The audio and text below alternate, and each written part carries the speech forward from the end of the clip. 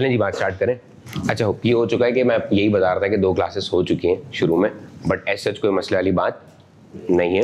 उसमें मैंने basics revise कराई थी एन रिवाइज करा दी, ठीक है, और एन यू टी और परपैचुटी बता दिया। तो थोड़ा सा मैंने दोबारा से कोई एक इंट्रोडक्शन दे देता हूँ एफ़ नाइन का, कि एफ़ नाइन में कितने कोर्सेज हैं, सब कुछ वगैरह बता देता हूँ, फिर उसके बाद बात स्टार्ट करते हैं, ठीक है। बात हमारी अब तक जो हो चुकी है, या जो कर चुके हैं, या मैं ऐसे कर लेता हूँ कि दोबारा शुरू, आप समझो कि पहली क्लास ही है, ठीक है तो आपका कुछ भी पीछे का मिस आउट नहीं हुआ। सबसे पहले बात कर लेते हैं एफ़ नाइन की कोर्स आउटलाइन के ऊपर, ठीक है? सर कोर्स आउटलाइन क्या है? मेरे हिसाब से पार्ट टू पेपर्स में जब आप आते हैं, ठीक है ना? एफ़ सीरीज़ के पार्ट टू पेपर्स में जब आते हैं लेवल टू में जब आते हैं तो सबसे छोटी कोर्स आउटलाइन एफ़ नाइन की है। सबसे छोटी कोर्स आउटलाइन किसकी एफ़ नाइन की। इसमें सबसे पहला चैप्टर आपके पास होता है कैपिटल इन्वेस्टमेंट अप्रेजल और यही वो चैप्टर है जो आपको एफ़ नाइन से जोड़ता है। क्योंकि ये वो चैप्टर जो आप सबसे पहले पढ़ चुके होते हो एफ़ टू के अंदर, ठीक है? तो पहला पार्ट हमारे पास कैपिटल इन्वेस्टमेंट अप्रेजल है। दूसरा हमारे पास weighted average cost of capital है। Weighted average cost of capital है, ठीक है? इसके अंदर आप कॉस्ट ऑफ़ कैपिटल याद करें एनपीवी निकालते वक्त आपके पास एक इंटरेस्ट रेट होता था। तो ये वो चैप्टर है, वो इंटरेस्ट रेट कैलकुलेट करने का चैप्टर है, ठीक है? तीसरा चैप्टर आपके पास बिज़नेस वैल्यूएशन कंपनीज़ की वैल्यूएशंस करनी है बिज़नेस की वैल्यूएशन करनी है। एक वजह ये भी हो सकती है, क्योंकि देखें आप स्टॉक मार्केट पर शेयर प्राइस देखते हैं तो वो कैसे कंप्यूट हो रही है? एक सवाल ये हो गया, ठीक है? दूसरा कि कभी किसी को अपना बिज़नेस बेचना है इसी तरह तीसरा हम लोग जो एफ़ सेवन में रिकवरेबल अमाउंट निकालते हैं फेयर वैल्यूज़ निकालते हैं तो बिज़नेस वैल्यूशन करके निकालते हो ना सीजी यूनिट्स की कैश जनरेटिंग यूनिट्स की। अगर एफ़ सेवन नहीं बढ़ा हुआ तो मैं ऐसे ही बता रहा हूँ कि इम्पेयरमेंट में भी हमें बिज़नेस की क्या चाहिए होती है? वैल्यूज़ चाहिए होती है। ठीक है? फोर्थ हमारे पास सोर्सेस ऑफ़ फाइनेंस कि भाई अगर किसी भी एक्टिविटी को फाइनेंस करना है तो how many sources we have कहाँ से पैसा हम लेकर आएँगे? Fifth risk management risk eliminate तो नहीं हो सकता। ठीक है ना? किसी भी चीज़ का रिस्क एलिमिनेट तो इसको मैनेज कर सकते हैं। तो इसके अंदर जो रिस्क मैनेजमेंट के अंदर हमारे पास जो रिस्क है, वो दो ही हैं। एक है करेंसी रिस्क ठीक है? और एक है इंटरेस्ट रेट रिस्क अच्छा फिर भी अगर सेटिस्फेक्शन नहीं आया ना कि होता है बंदे को, यार, क्या पढ़ा दिया होगा सर ने? ऐसा मैंने कुछ खास पढ़ाया नहीं है। तो आपकी दोनों क्लासेस रिकॉर्ड भी है। मैनेजमेंट से मांगोगे, मिल जाएगी। लेकिन फ़ायदा नहीं है। मैं कह रहा हूँ कि मैं कवर करवा दूँगा, अपना टाइम सेव करो। कुछ और कर लेना, कोई सवाल दूँगा, वो कर लेना। ठीक है? कोई बुक का पेज बोल दूँगा, वो पढ़ लेना भाई। समझ मारी छठा area working capital management working capital management अच्छा यही कोर सब्जेक्ट यही कोर क्या कहते हैं? चैप्टर्स हैं।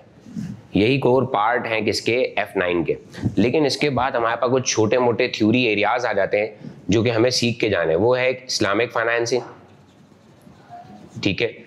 और आठवां हमारे पास है और दूसरी को बताता हूँ क्लासेस में मैंने हर चैप्टर का एक छोटा छोटा रिव्यू दे दिया था गो थ्रू दे दिया था कि चैप्टर में हम लोग क्या पढ़ेंगे। मतलब पूरा समराइज करके मैंने क्या बता दिया था? चैप्टर बता दिया था कि चैप्टर में होने वाला क्या है। तो इस्लामिक फाइनेंस हो गई। आठवां चैप्टर हमारे पास है इकोनॉमिक्स हम किस पे बात करेंगे? इकोनॉमिक्स पे। ये वो थ्योरी एरियाज़ हैं जो बच्चे को एट द एंड जब पेपर देने जा रहा होता है ना, तब ये बहुत डार्क होते हैं। खासतौर पे ये भी थ्योरी एरिया है, ये भी थ्योरी एरिया है, ये भी थ्योरी एरिया है। Interest rate risk theory area है। बिज़नेस वैल्यूएशन हमारे पास क्या है? थ्योरी एरिया है। तो मतलब ये बात समझ लो कि एफ़ नाइन में यूँ कर लो कि 50 परसेंट थ्योरी और 50 परसेंट क्या है? कंप्यूटेशन। बच्चों की कंप्यूटेशन पे तो बहुत अच्छी ग्रिप होती है, लेकिन थ्योरी थोड़ी सी क्या होती है? कमज़ोर। तो वही मैंने कहा कि जो कमज़ोर एरिया है, आप देखो जो मार्केट में लैकिंग्स है लाइक मिसाल के तौर थ्योरी होगी सेकंड थिंग फ़िज़िकल क्लासेस नहीं होती इंडिविजुअल अटेंशन नहीं है। तो मैंने बोला उन तीनों चीज़ों को ओवरकम कर देते जो मार्केट में एक नीड है या जिसकी रिक्वायरमेंट ठीक है? अच्छा नाइन्थ चीज़ पैटी पैटी इश्यूज़ कह सकते हैं, ठीक है? या यूँ कह लो कि फर्दर थ्योरी एरियाज़ कुछ टर्मिनोलॉजीज हैं, कुछ डेफिनेशंस हैं, कुछ फैक्टर्स टू बी कंसिडर हैं, कुछ छोटी मोटी बातें हैं कि स्टडी से रिलेटेड वो थ्योरी एरियाज़ भी हम इसमें क्या करेंगे? कवर करेंगे। अगर आप ये छह चैप्टर कर लेते हो तो आपका 95 परसेंट ऑफ़ कोर्स क्या हो जाता है? कवर्ड हो जाता है। बट ये बच जाता है फाइव परसेंट और इस बच्चे को बस इसी से डर लगता रहता है। ठीक है? बात समझ में आ गई? तो ये हमारे क्या कहते हैं? कोर्स आउटलाइन हो गई। अब अगर बात करें किसकी? पे, पेपर पैटर्न की। तो बोला भाई पेपर पैटर्न में आपके पास बहुत सिंपल है जो आप पहले भी देख चुके हो या अगर किसी का पार्ट टू का पहला पेपर है कुछ लोग एफ़ नाइन पहला पेपर उठा लेते हैं। तो सेक्शन ए में आपके पास क्या कहते हैं? फिफ्टीन एमसीक्यूज या ऑब्जेक्टिव स्टाइल क्वेश्चन आएँगे। ठीक है? True and false, fill the blanks. Fill the blanks में कभी भी इंग्लिश नहीं आएगी नंबर पुट करना होगा। इंग्लिश लिखने को नहीं आएगी। ठीक है, एक एमसीक्यू आपके पास दो मार्क्स का हो गया तो आपके पास ये कितने हो गए? थर्टी मार्क्स ठीक है सेक्शन बी में आपके पास ओ आते हैं। ओ कह लो एम कह लो, तीन ओ आते हैं। लेकिन हर ओटीक्यू में आपके पास पाँच समझ लो एम ही होंगे। ये ऑब्जेक्टिव स्टाइल क्वेश्चन होंगे। एक केस स्टडी दिया होगा उसमें से कितने सवाल पूछे जाएँगे? पाँच। ठीक है? लेकिन जो ये तीन ओ टी क्यूज हैं पूरे दस मार्क्स के होंगे। तो मतलब ये जो अगर मैं टेन को डिवाइड बाई पाँच कर लूँ तो एक कितने का हुआ? दो मार्क्स का हुआ। तो आपके पास थर्टी मार्क्स का आपका सेक्शन बी आ जाता है। थर्ड आपके पास एरिया है सेक्शन सी सेक्शन सी में आपके पास क्या कहते हैं? टू, क्या कहते हैं सी आर क्यूज आते हैं और एक सी आर क्यू आपके पास ट्वेंटी मार्क्स का एक सी आर क्यू आपके इसके पास है ट्वेंटी मार्क्स का। तो आपके पास फोर्टी मार्क्स का क्या कहते हैं सेक्शन सी आता है। ये वो एरिया है जिसमें मैं अक्सर बच्चे को बोलता हूँ, भाई, ये अभी भी मुझे लगता है थोड़ा सिक्योर सिक्योर एरिया है। मतलब यहाँ पर बच्चा है ना थर्टी मार्क्स सिक्योर कर सकता है अगर वो पढ़ कर गया है। सर फोर्टी क्यों नहीं? फोर्टी एक्सेप्शनल केस है ना? मैं तो एवरेज स्टूडेंट की बात कर रहा हूँ कि थर्टी मार्क्स वो यहाँ पर क्या कर सकता है? कवर कर सकता है। बोला, सर, कैसे? देखो, ये जो दोनों एरियाज़ है ना, यहाँ प्रोबेबिलिटी क्या है? या तो आप सही हो, या आप गलत हो। फिफ्टी फिफ्टी परसेंट रेशियो लेकिन ये वो सेक्शन है, ये वो एरिया है जो थ्योरी वाले ज़माने में भी लोग जब हैंड रिटन पेपर्स होते थे, तब ये लोग एंजॉय करते थे। क्या चीज़? भाई देखो, मिसाल के तौर पर weighted average cost of capital calculate करने के ट्वेंटी स्टेप्स हैं। तो मैंने पूरे ट्वेंटी स्टेप्स करे, लेकिन मेरा अगर स्टेप नंबर एटीन और सेवनटीन गलत है तो मुझे सिर्फ़ 18 और 17 के मार्क्स कटते थे और आंसर के मार्क्स कटते थे, बाकी सारे स्टेप्स की क्या मिलते थे? मार्क्स मिलते थे। बात समझ में आ गई, नहीं आ गई? तो अब सेक्शन सी आज भी ऐसे ही है। आज भी ऐसे ही है कि अगर आपने एक एनपीवी पूरी कैलकुलेट करी उसमें सारे कैश फ्लो सही रखे, एक आध कैश फ्लो गलत रख दिया, एक आध फॉर्मूला गलत रख दिया तो सिर्फ़ उस फॉर्मूले के, उस पॉइंट के, उस एरिया के मार्क्स कटेंगे, बाकी चीज़ों के मार्क्स नहीं कटेंगे। मेरी बात समझ में आ रही? लेकिन पॉइंट नंबर टू मेरी बहुत गौर से बात सुनना। यहाँ पर क्या मसला है? सपोज़ करो भाई, जैसे रिस्क मैनेजमेंट के करेंसी स्वैप होता है या एफ़ एग्रीमेंट होता है, उसका पूरा काम करना होता है, उसकी पूरी कैलकुलेशन करनी थी वो भी ट्वेंटी स्टेप्स पर ही मिसाल के तौर ट्वेंटी नहीं फाइव स्टेप्स पर है। तो जो एफ़ का जो करेंसी फॉरवर्ड रेट एग्रीमेंट आपको बनाना है, वो पाँच स्टेप्स पर मुश्तमिल है, अब आपने पाँच स्टेप्स करे, आपको आता है काम, आपका कॉन्सेप्ट क्लियर है। ऐसा नहीं कि आपको आता नहीं, आपको आता है, बस बट छोटी सी सिली मिस्टेक की वजह से आपका फाइनल आंसर क्या आ गया? गलत। और अपने एमसीक्यू में भी क्या कर दिया? गलत मार्क्स गलत ऑप्शन सेलेक्ट कर दिया या गलत नंबर क्या कर दिया? पुट कर दिया। मेरी बात समझ में क्या कहना चाह रहा हूँ? तो आपको स्टेप्स वगैरह के मार्क्स नहीं मिल रहे। तो यहाँ पर एक ऐसा एरिया है कि जहाँ पे खेला जा सकता है। इसी तरह जब थ्योरी थ्योरी लिखने को आ जाती है तो आप अपनी मर्ज़ी से, आप अपनी मर्ज़ी से क्या कर सकते हो? बातें कर सकते हो। आप अपनी मर्ज़ी से पॉइंट्स लिख सकते हो। सही? अपनी मर्ज़ी से पॉइंट्स मेरा लिखने का मतलब ये है कि जैसे मिसाल पाँच से छह मार्क्स की थ्योरी आ गई है। अब अगर छह मार्क्स की कम से कम आठ पॉइंट्स तो लिखूं, जो मुझे दिमाग में आ रहे हैं, जो वैलिड असल में हमारा ना लिखने का डर बहुत ज़्यादा है। तो हमें उस डर को यहाँ पर क्या करना है? खत्म करना है। यहाँ पे आप आइडियाज़ डिस्कस करो। आप मुझे बातें बताओ, कोई मसले वाली बात, जो भी आपके दिमाग में आ रहा है। अक्सर पता है क्या होता है? जो हमारे दिमाग में आ रहा होता है ना, वो सही होता है। बस डर और खौफ की वजह से हम बोल नहीं पाते। तो हमारे पास ये सेक्शन सी हो गया। टोटल अगर आप देखो तो हमारे पास कितने हो गया हंड्रेड मार्क्स का पेपर हो गया। सर कितने मार्क्स की तैयारी करनी है? हम किस टारगेट से चले तो बोला सर इससे पचास मार्क्स दिलाने पास हो जाएँगे नहीं। इस बैच में हम लोग सौ मार्क्स की तैयारी करेंगे। हमारी, हम सबने नीयत बांधी हुई कि हमें कितने मार्क्स लाने हैं? सौ। जब हम सौ का सोचेंगे तो नाइनटी एटी पे बात होगी। मुझे चाहिए यहाँ से टॉप मुझे यहाँ से क्या चाहिए भैया? टॉप क्योंकि अब ऐसा नहीं है कि टॉप का जमाना नहीं रहा टॉप आता है। बस हम मेहनत करेंगे। अब अगर पाँच स्टूडेंट्स हैं, मैं उनके ऊपर इंडिविजुअलाइज मेहनत कर रहा हूँ, उनके आंसर चेक कर रहा हूँ, उनको थ्योरी के एरियाज़ कवर करा रहा हूँ, उनको एक एक टॉपिक रिपीट पे पढ़ा रहा हूँ। ठीक है, अगर कोई ऐसा है, कोई टॉपिक है जो नहीं समझ में आया, दोबारा समझ लेना भाई। दोबारा पूछ लेना यू हैव माई नंबर बोला सर नंबर नहीं है। Zero double three six two eight four five six five three आपने व्हाट्सएप पे मुझे कांटेक्ट कर लिया। भाई, जो सवाल है, अपना सवाल पूछो, मैं आपके सवाल का जवाब दूँगा। एफ़ नाइन पढ़ने बैठे, अटक गए। सर समझ में नहीं आ रहा, कैसे पढ़ना स्टार्ट करूँ? आप पूछो, मैं आपको जवाब दूँगा। सही है? तो ये आपके पास नंबर भी हो गया। कोर्स आउटलाइन पेपर पैटर्न अब हम लोगों ने जो चैप्टर स्टार्ट कर लिया था, वो चैप्टर नंबर वन स्टार्ट कर लिया था। Chapter number one capital investment appraisal sir आपकी इस चैप्टर में अब तक क्या बातचीत हो चुकी है? मैंने बहुत सिंपल करके छोटी सी बात बताई कि सबसे पहले हम एक वर्ड डिस्कस करते हैं इन्वेस्टमेंट्स किसको डिस्कस करते हैं? द वर्ड इन्वेस्टमेंट्स इन्वेस्टमेंट्स क्या है कि when you invest some amount और आफ्टर अ टाइम पीरियड एक सेवरल टाइम पीरियड के बाद आपके पास क्या आना स्टार्ट हो जाते हैं? रिटर्न्स आना शुरू हो जाते हैं। अब अगर इन्वेस्टमेंट्स की लाइफ देखी जाए स्पेन देखे जाए, अगर वो लेस देन ट्वेल्व मंथ है, अगर वो लेस देन ट्वेल्व मंथ है तो उसको शॉर्ट टर्म इन्वेस्टमेंट बुलाते हैं। क्या बुलाते हैं? शॉर्ट टर्म इन्वेस्टमेंट लेकिन अगर किसी भी इन्वेस्टमेंट का स्पेन जो है, वो मोर देन ट्वेल्व मंथ है तो उसको हम लॉन्ग टर्म इन्वेस्टमेंट बुलाते हैं। क्या बुलाते हैं? लॉन्ग टर्म इन्वेस्टमेंट सर थोड़ा सा क्लियर करते हैं शॉर्ट टर्म इन्वेस्टमेंट या लॉन्ग टर्म इन्वेस्टमेंट की कोई छोटी मोटी एग्जांपल्स देते हैं। पाकिस्तान की अगर बात करूँ ना तो एक बहुत मशहूर इन्वेस्टमेंट है, जो हर बच्चे को पता होती है। आजकल जो रियल एस्टेट में चल रही है, कि भाई सबसे पहले आपने डाउन पेमेंट कर दी। लाइक मिसाल तौर तो आठ लाख रुपए, नौ लाख रुपए, दस लाख रुपए की आपने डाउन पेमेंट कर दी। फिर चार साल तक मंथली आप क्या दे रहे हो? कुछ इंस्टॉलमेंट्स दे रहे हो आफ्टर फोर ईयर्स जब आपके फोर ईयर्स कंप्लीट हो जाते हैं तो आपका प्रोजेक्ट कंप्लीट हो जाता है एडवर्स या फेवरेबल वेरिएंस के साथ, जो भी प्लान होता है। फिर उसके बाद आपको आपके प्रोजेक्ट का टेक ओवर मिल जाता है। मिल गया टेक ओवर उसके बाद आप क्या करते हो, उसको रेंट पर चढ़ा देते हो या खुद जाके रहना शुरू कर दो, लेकिन अगर खुद रह रहे हो तो फिर ये इन्वेस्टमेंट्स नहीं है ना। मैं रियल स्टेट का इन्वेस्टर नहीं हुआ। मैं इसको रेंट पे चढ़ाऊँगा। या दूसरा तरीका ये है कि जब ये चार साल का टेन्योर चल रहा होता है ना तो ज़रूरी नहीं कि आप चार साल तक वेट करो। आपने एक साल तक इंस्टॉलमेंट्स भरी। अब आप चाहते हो कि यार मैं यहाँ से विड्रॉ करना चाहता हूँ। आपने दूसरे बंदे को ये घर क्या कर दिया? भेज दिया। अब वो बाकी तीन साल की इंस्टॉलमेंट्स कंप्लीट करेगा। तो सर, क्या मुझे कोई फ़ायदा होगा? जी हाँ। फ़ाइल की वैल्यूएशन होती है। क्या होती है? फ़ाइल की आपको फ़ायदा होगा। एक इन्वेस्टमेंट बता दी। दूसरी इन्वेस्टमेंट बता दो बहुत थोड़ा सा पैसा है। प्राइस बॉन्ड्स खरीद के रख लो। अच्छा इसकी स्पेन ऑफ़ लाइफ क्या हुआ? चार साल की बातें हो रही हैं। तो इसका मतलब ये कौन सी कौन सी इन्वेस्टमेंट हुई?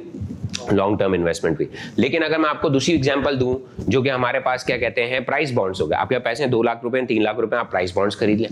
आपने प्राइस बॉन्ड खरीदा। प्राइस बॉन्ड के अंदर क्या होता है? हर तीन महीने बाद बैलेटिंग होती है। अगर आपका नंबर आया तो आपको क्या मिल जाएगा? प्राइस अमाउंट मिल जाएगा। इसी तरह आप शेयर्स खरीद लें, लेकिन ट्रेडिंग पर्पजेज के लिए। आप जो शेयर्स खरीद रहे हो किस पर्पजेस के लिए खरीद रहे हैं? ट्रेडिंग पर्पजेस के लिए। अगेन वो शॉर्ट टर्म इन्वेस्टमेंट हो गई। लॉन्ग टर्म इन्वेस्टमेंट में आपने मिसाल के तौर पे किसी कंपनी के शेयर्स खरीदे, लेकिन अब या तो आप टेक ओवर करना चाह रहे हो, या आप क्या करना चाह रहे हो? डिविडेंड्स एंजॉय करना चाह रहे हो। क्या एंजॉय करना चाह रहे हो? Dividends then it will be your long term investment debenture हो डिवेंचर खरीद लो। डिवेंचर के इंटरेस्ट का वेट करो, उसको सेल और बाय नहीं करो तो अगेन वो आपके लिए क्या हो जाएगी? लॉन्ग टर्म इन्वेस्टमेंट तो आपको एक बात समझ में आ गई कि अगर स्पेन ऑफ़ जो इन्वेस्टमेंट है वो बारह महीने से छोटा है then it will be short term बारह महीने से बड़ा है तो क्या हो जाएगी? लॉन्ग टर्म शॉर्ट टर्म हमारे इस चैप्टर में फ़िलहाल कवर्ड नहीं है। इस चैप्टर में कवर्ड नहीं अदरवाइज़ बाकी चैप्टर्स में थ्योरी के अंदर आता है। हम कुछ शॉर्ट टर्म इन्वेस्टमेंट्स पढ़ेंगे।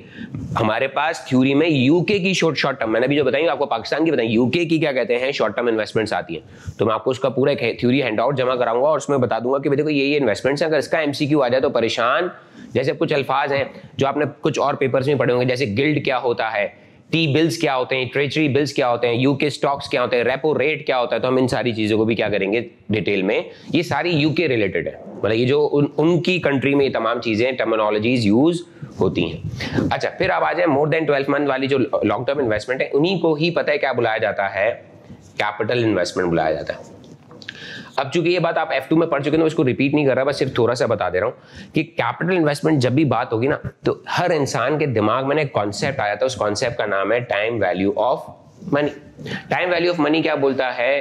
Today's one dollar today's one dollar is not equal to after one year dollar after one year after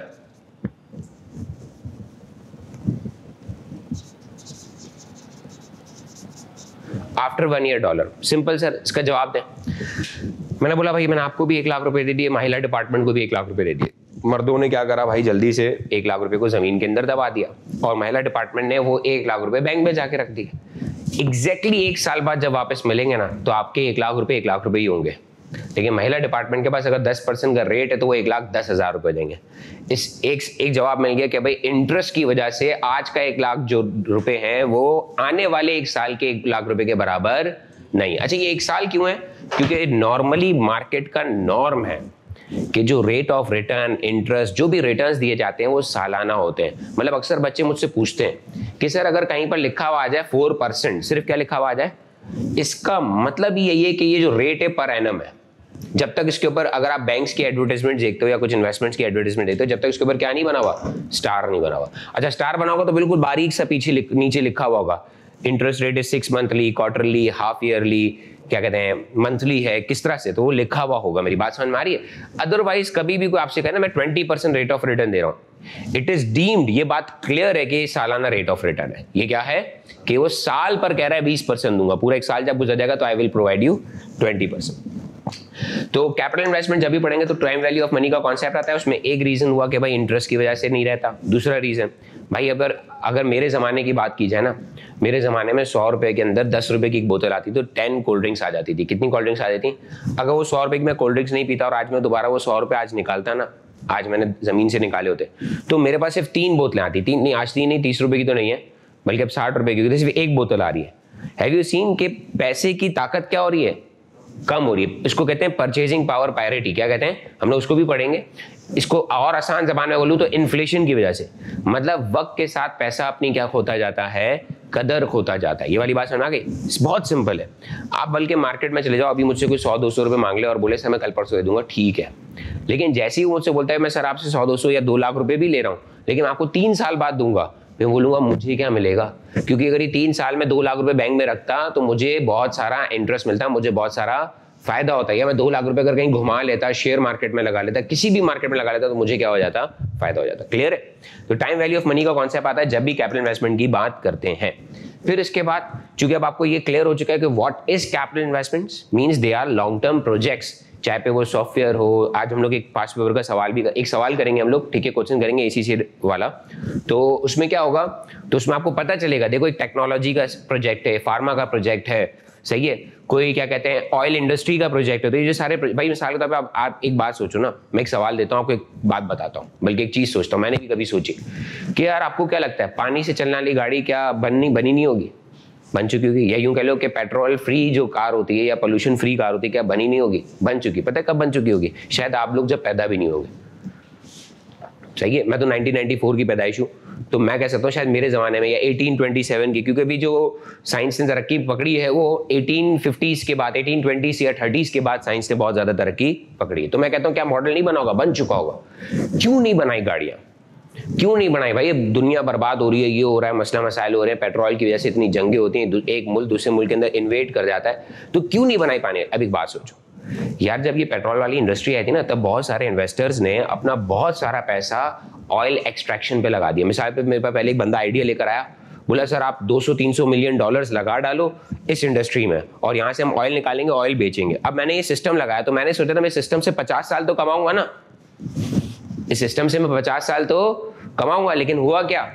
तीन चार साल में एक बंदा आता है, बोलता है, भाई, आओ भाई, पानी वाली गाड़ी बना लेते हैं लाइक मिसाल पे सोलर पैनल वाली गाड़ी बना लेते हैं, जो सोलर एनर्जी से चलेगी या इलेक्ट्रिक कार बना लेते हैं.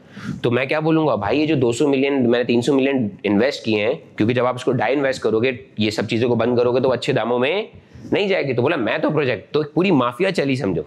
समझ रही एक माफिया चली कि उसने बोला कि जब तक पचास साल पूरे नहीं हो जाएँगे हम अपने जो हमने इन्वेस्टमेंट की इसमें से पैसा बाहर नहीं निकाल लेंगे इसमें से पैसा तब तक हम नई टेक्नोलॉजी को आने तभी आप देखना कभी भी पुराने जितने भी ब्रांड्स थे ना उन्होंने इलेक्ट्रिक कार्स लॉन्च पहले नहीं करी।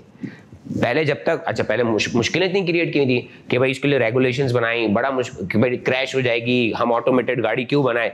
आप शुरू में याद होगा अगर आपको टेस्ला जब आई थी तो काफ़ी ज़्यादा क्या हुए थे? स्कैंडल्स हुए थे। हुए थे ना? और उसको ये बोला कि भाई ये तो ऑटोमेटेड है, टकरा जाएगी इसका स्टेयरिंग क्योंकि अब आपको पता तो स्टेयरिंग भी दो तरह के होते हैं। एक होता है मैनुअल और एक वायर्ड होता है।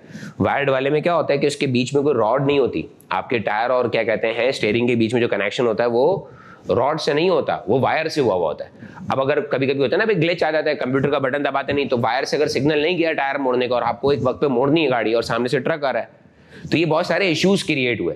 तो अब खुद सोचो अच्छा जब सबको समझ में आज मैं आपको यही बता रहा था, पिछली क्लास में बता चुका हूँ कि जो भी क्लोज होने जा रहा है ये पूरा साल, इसमें थर्टी परसेंट जितनी भी कार्स की सेल हुई है, उसमें थर्टी परसेंट किसकी सेल हुई है? ईवीज की हुई है। अब लोगों का पैराडाइम शिफ्ट आ रहा है, या इन्वेस्टर को समझ में आ गया कि भाई मैंने बहुत पैसा निकाल भी लिया इसमें से, मेरी रिकवरी भी हो चुकी है, मेरे प्रॉफिट्स भी आ चुके हैं, और अब ये मार्केट क्या हो गई है? मैच्योर हो चुकी है, मुझे शिफ्ट पैराडाइम शिफ्ट अब आप चेक करो मर्सिडीज उठा लो बी उठा लो होंडा उठा लो टोयोटा उठा लो, सब ईवीज की तरफ़ जा रहे हैं या ईवी मार्केट अब क्या होने लग रही है? ऐसे ऐसे ग्रोथ पकड़ना शुरू कर रही है। क्या मेरी बात समझ में आई? तो आपको एक बात समझ में आ गई कि जब भी कोई इन्वेस्टमेंट करता है ना तो कोई टर्म के लिए करता है। और वो तो चाहता है कि मेरी इन्वेस्टमेंट रहे ना, जो प्लान बनाया था, बारह साल का, तेरह साल का, पचास साल का, वो साल का प्लान वो रहे तो उसके लिए वो कोई भी करेक्टिव एक्शन लेता है। अच्छा तो हमारी बात क्या हो रही थी कि मैंने आपको ये बता दिया टूडेज हाँ तो जब भी मैंने आपको ये बात मैंने क्लियर कर दी कि कैपिटल इन्वेस्टमेंट क्या है, अब कैपिटल इन्वेस्टमेंट्स का अप्रेजल तो बोला इसका, उसको चेक करना है। ये जो हमारे इतने सारे प्रोजेक्ट्स आते हैं, क्या है, किसी प्रोजेक्ट में पैसा लगाना है या नहीं? तो कंपनीज़ में प्रोजेक्ट्स को चेक करने का एक प्रॉपर क्या है? Process of capital investment process of capital investment है। प्रोसेस ऑफ़ कैपिटल इन्वेस्टमेंट क्या है? इसके आपके पास सिक्स फॉर्मल स्टेप्स हैं। सिक्स फॉर्मल स्टेप्स हैं। तो आप एक काम करते हैं जो नए बच्चे ना उनके माइंड सेट को थोड़ा टेस्ट कर लेते हैं। एक आपके एक आपके और आपके। बाकी दोनों तो क्लास लीव ही है। तो भाई मिसाल के तौर पे मैं आप सबको एक बहुत सीनियर पोस्ट पे बिठा दूँ। आप लोग बोलते ना यार जॉब्स नहीं है ये वो नहीं है। आओ चेक कर लेते हैं। पता चल जाएगा कि जॉब क्यों नहीं है। या आपको पार्ट क्वालिफाइड या आधे ए वाले पा, पास आउट को बच्चे को क्यों नहीं क्या आप ए में कितने साल से दोस्त? दो साल से, आप कितने साल से? दो साल से। अब दो साल से क्वालिफिकेशन हो ना, दो साल दे चुके हो आप लोग। आइए एक सवाल पूछता हूँ। एक क्या पूछता हूँ? सवाल पूछता हूँ। तो मुझे एक बात बताइए। आप सबको मैंने बना दिया भाई फाइनेंशियल मैनेजर मैंने ट्रेजरार बना दिया सीएफओ बना डाला। या चलो फाइनेंशियल ट्रेजरार बना देता हूँ। और आपकी आज मीटिंग किसके साथ है? सीएफओ के साथ। सीएफओ बोलता है, भाई मुझे बताओ हमारे पास बहुत सारे ऑप्शन हैं प्रोजेक्ट्स ही प्रोजेक्ट्स हैं। रोज़ाना मुझे कॉल्स आ रही हैं, क्योंकि मैं एक बड़ी कंपनी में मिसाल के तौर पर काम कर रहे हैं। ठीक है तो मुझे रोज़ाना कॉल्स आ रही है। फला प्रोजेक्ट है, फला सॉफ्टवेयर है, फला फला एप्लीकेशन है, फला ए आई आया हुआ है, फला इलेक्ट्रिकल क्या कहते हैं इंस्ट्रूमेंट आया हुआ है तो इन सब चीज़ों में इन्वेस्टमेंट्स करनी है। मैं मैं बड़ा परेशान हूँ, मुझे बताओ, तुम लोग मेरे ट्रेजरार हो। तुम लोग ए सी कर गया मैंने तुम लोग को सात सात लाख पे अपॉइंट किया है। अब मुझे बताओ, मुझे क्या करना चाहिए? मैं किस तरीके से इन्वेस्टमेंट्स करूँ? इतने सारे ऑप्शन है, किसी में भी पैसे लगा दूँ या पर्चियाँ डाल दूँ बैलेटिंग कर लूँ पर्चियाँ बाउल में डाल के जो सेलेक्ट हो गई वो उसमें इन्वेस्ट कर दो तो मुझे बताओ क्या करना चाहिए?